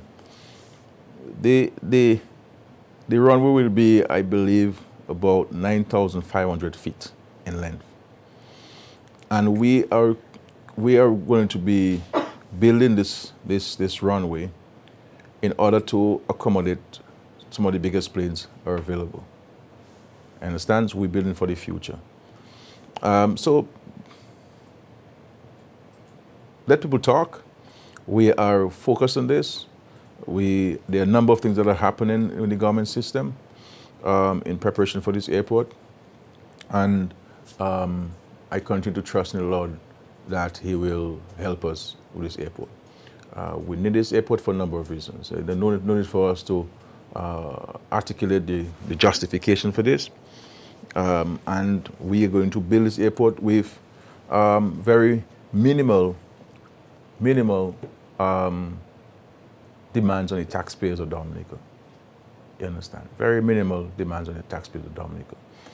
And uh, I am confident that this is the best opportunity the country has had to build an airport, and this should be the last opportunity the country will have to build this airport. And we will make it happen, and we just have to remain faithful to the cause and focus on, on this. And we are speeding up on the negotiations with property owners, and um, I am sure they all will be satisfied with what they finally negotiated and so on. There, there are some lawyers, I understand, who are all there who will say to property owners, you know, don't, don't speak to the government unless you get me involved. But all they want to do is to get a 3% or 5% from, from your, from your um, from your sale. What the, the, that's three percent you should be leaving for your grandchildren. These lazy lawyers want to get this from you, just like that. I mean, when you can negotiate, you you you, you negotiate to, you negotiated to um, to buy a land in the first place yourself, and you negotiated the government. Many of you have settled, and you uh, with the government. So I, I it's attempt by some people to to undermine, and and if people if people are serious about if they say they're serious about this, and I know some of the, some some some people who are part of this um, thing, and if you, if you say you're part of a committee that deals with development and so forth, why are you anti-developmental project? Your first, uh, your first move is to undermine the project?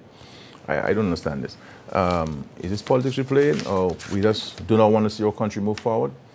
Um, or we, we, we want to deny young people of better opportunities? All these young people who are studying overseas, you know, how are we going to create better opportunities for them if we don't expand the economy and, and, and create um, better paying jobs and, and new jobs, new opportunities for, for young people?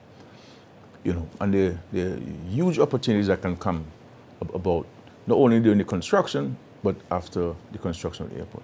Let's move forward. We're talking about an international airport in the period of COVID-19. Can you believe this? Can you understand how good the Lord has been to us? Notwithstanding COVID, we're here talking about the international airport.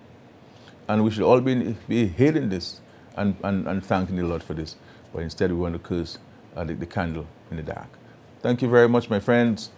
Um, let's wear our masks, wash our hands, um, and social distancing. The feds that we're having, we have to follow some protocols. So very early Monday, Tuesday, we will be articulating some new protocols and guidelines for an application process if you're to host an activity. And the Noise Abatement Act has to be fully um, um, recognized. Um, and of course, we know what the Noise Abatement Act says in terms of the conduct of, of, of, of night parties and activities. So we have to do this to protect this country because it is not in our interest to have this country shut down. If this country shut down, then we have a problem. Um, and I don't intend on, on closing this country. Um, we have to press ahead. We have to be uh, mindful of the presence of COVID-19, but we have to forge ahead nonetheless. And we have to bring about discipline and responsibility. Discipline and responsibility. And each of us, we can't rely on Ms. Dr. McIntyre and the Ministry of Health and the government. All of us, each of us must play our part. And we're asking you to do three things, three little things. We're not even asking you for money. Three little things that we have to do. Let us do these three little things to protect ourselves, our family, and our country. Thank you very much for listening to me. Really a pleasure being here with you again tonight. Um, we're committed to being with you. It's the independent season. Let us enjoy and partake in our local activities and our cuisine. And let us um, be, as always, our neighbor's keeper. Thank you very much. God bless you. Social distancing means solidarity. Play your part to help control the spread of COVID 19 and keep yourself and others safe. Limit social gatherings. Avoid crowded areas like bars and restaurants. Keep three to six feet away from each other. We may have to stay apart, but we're all in this together. A message by the Health Promotion Unit of the Ministry of Health, Wellness and New Health Investment, Dominica.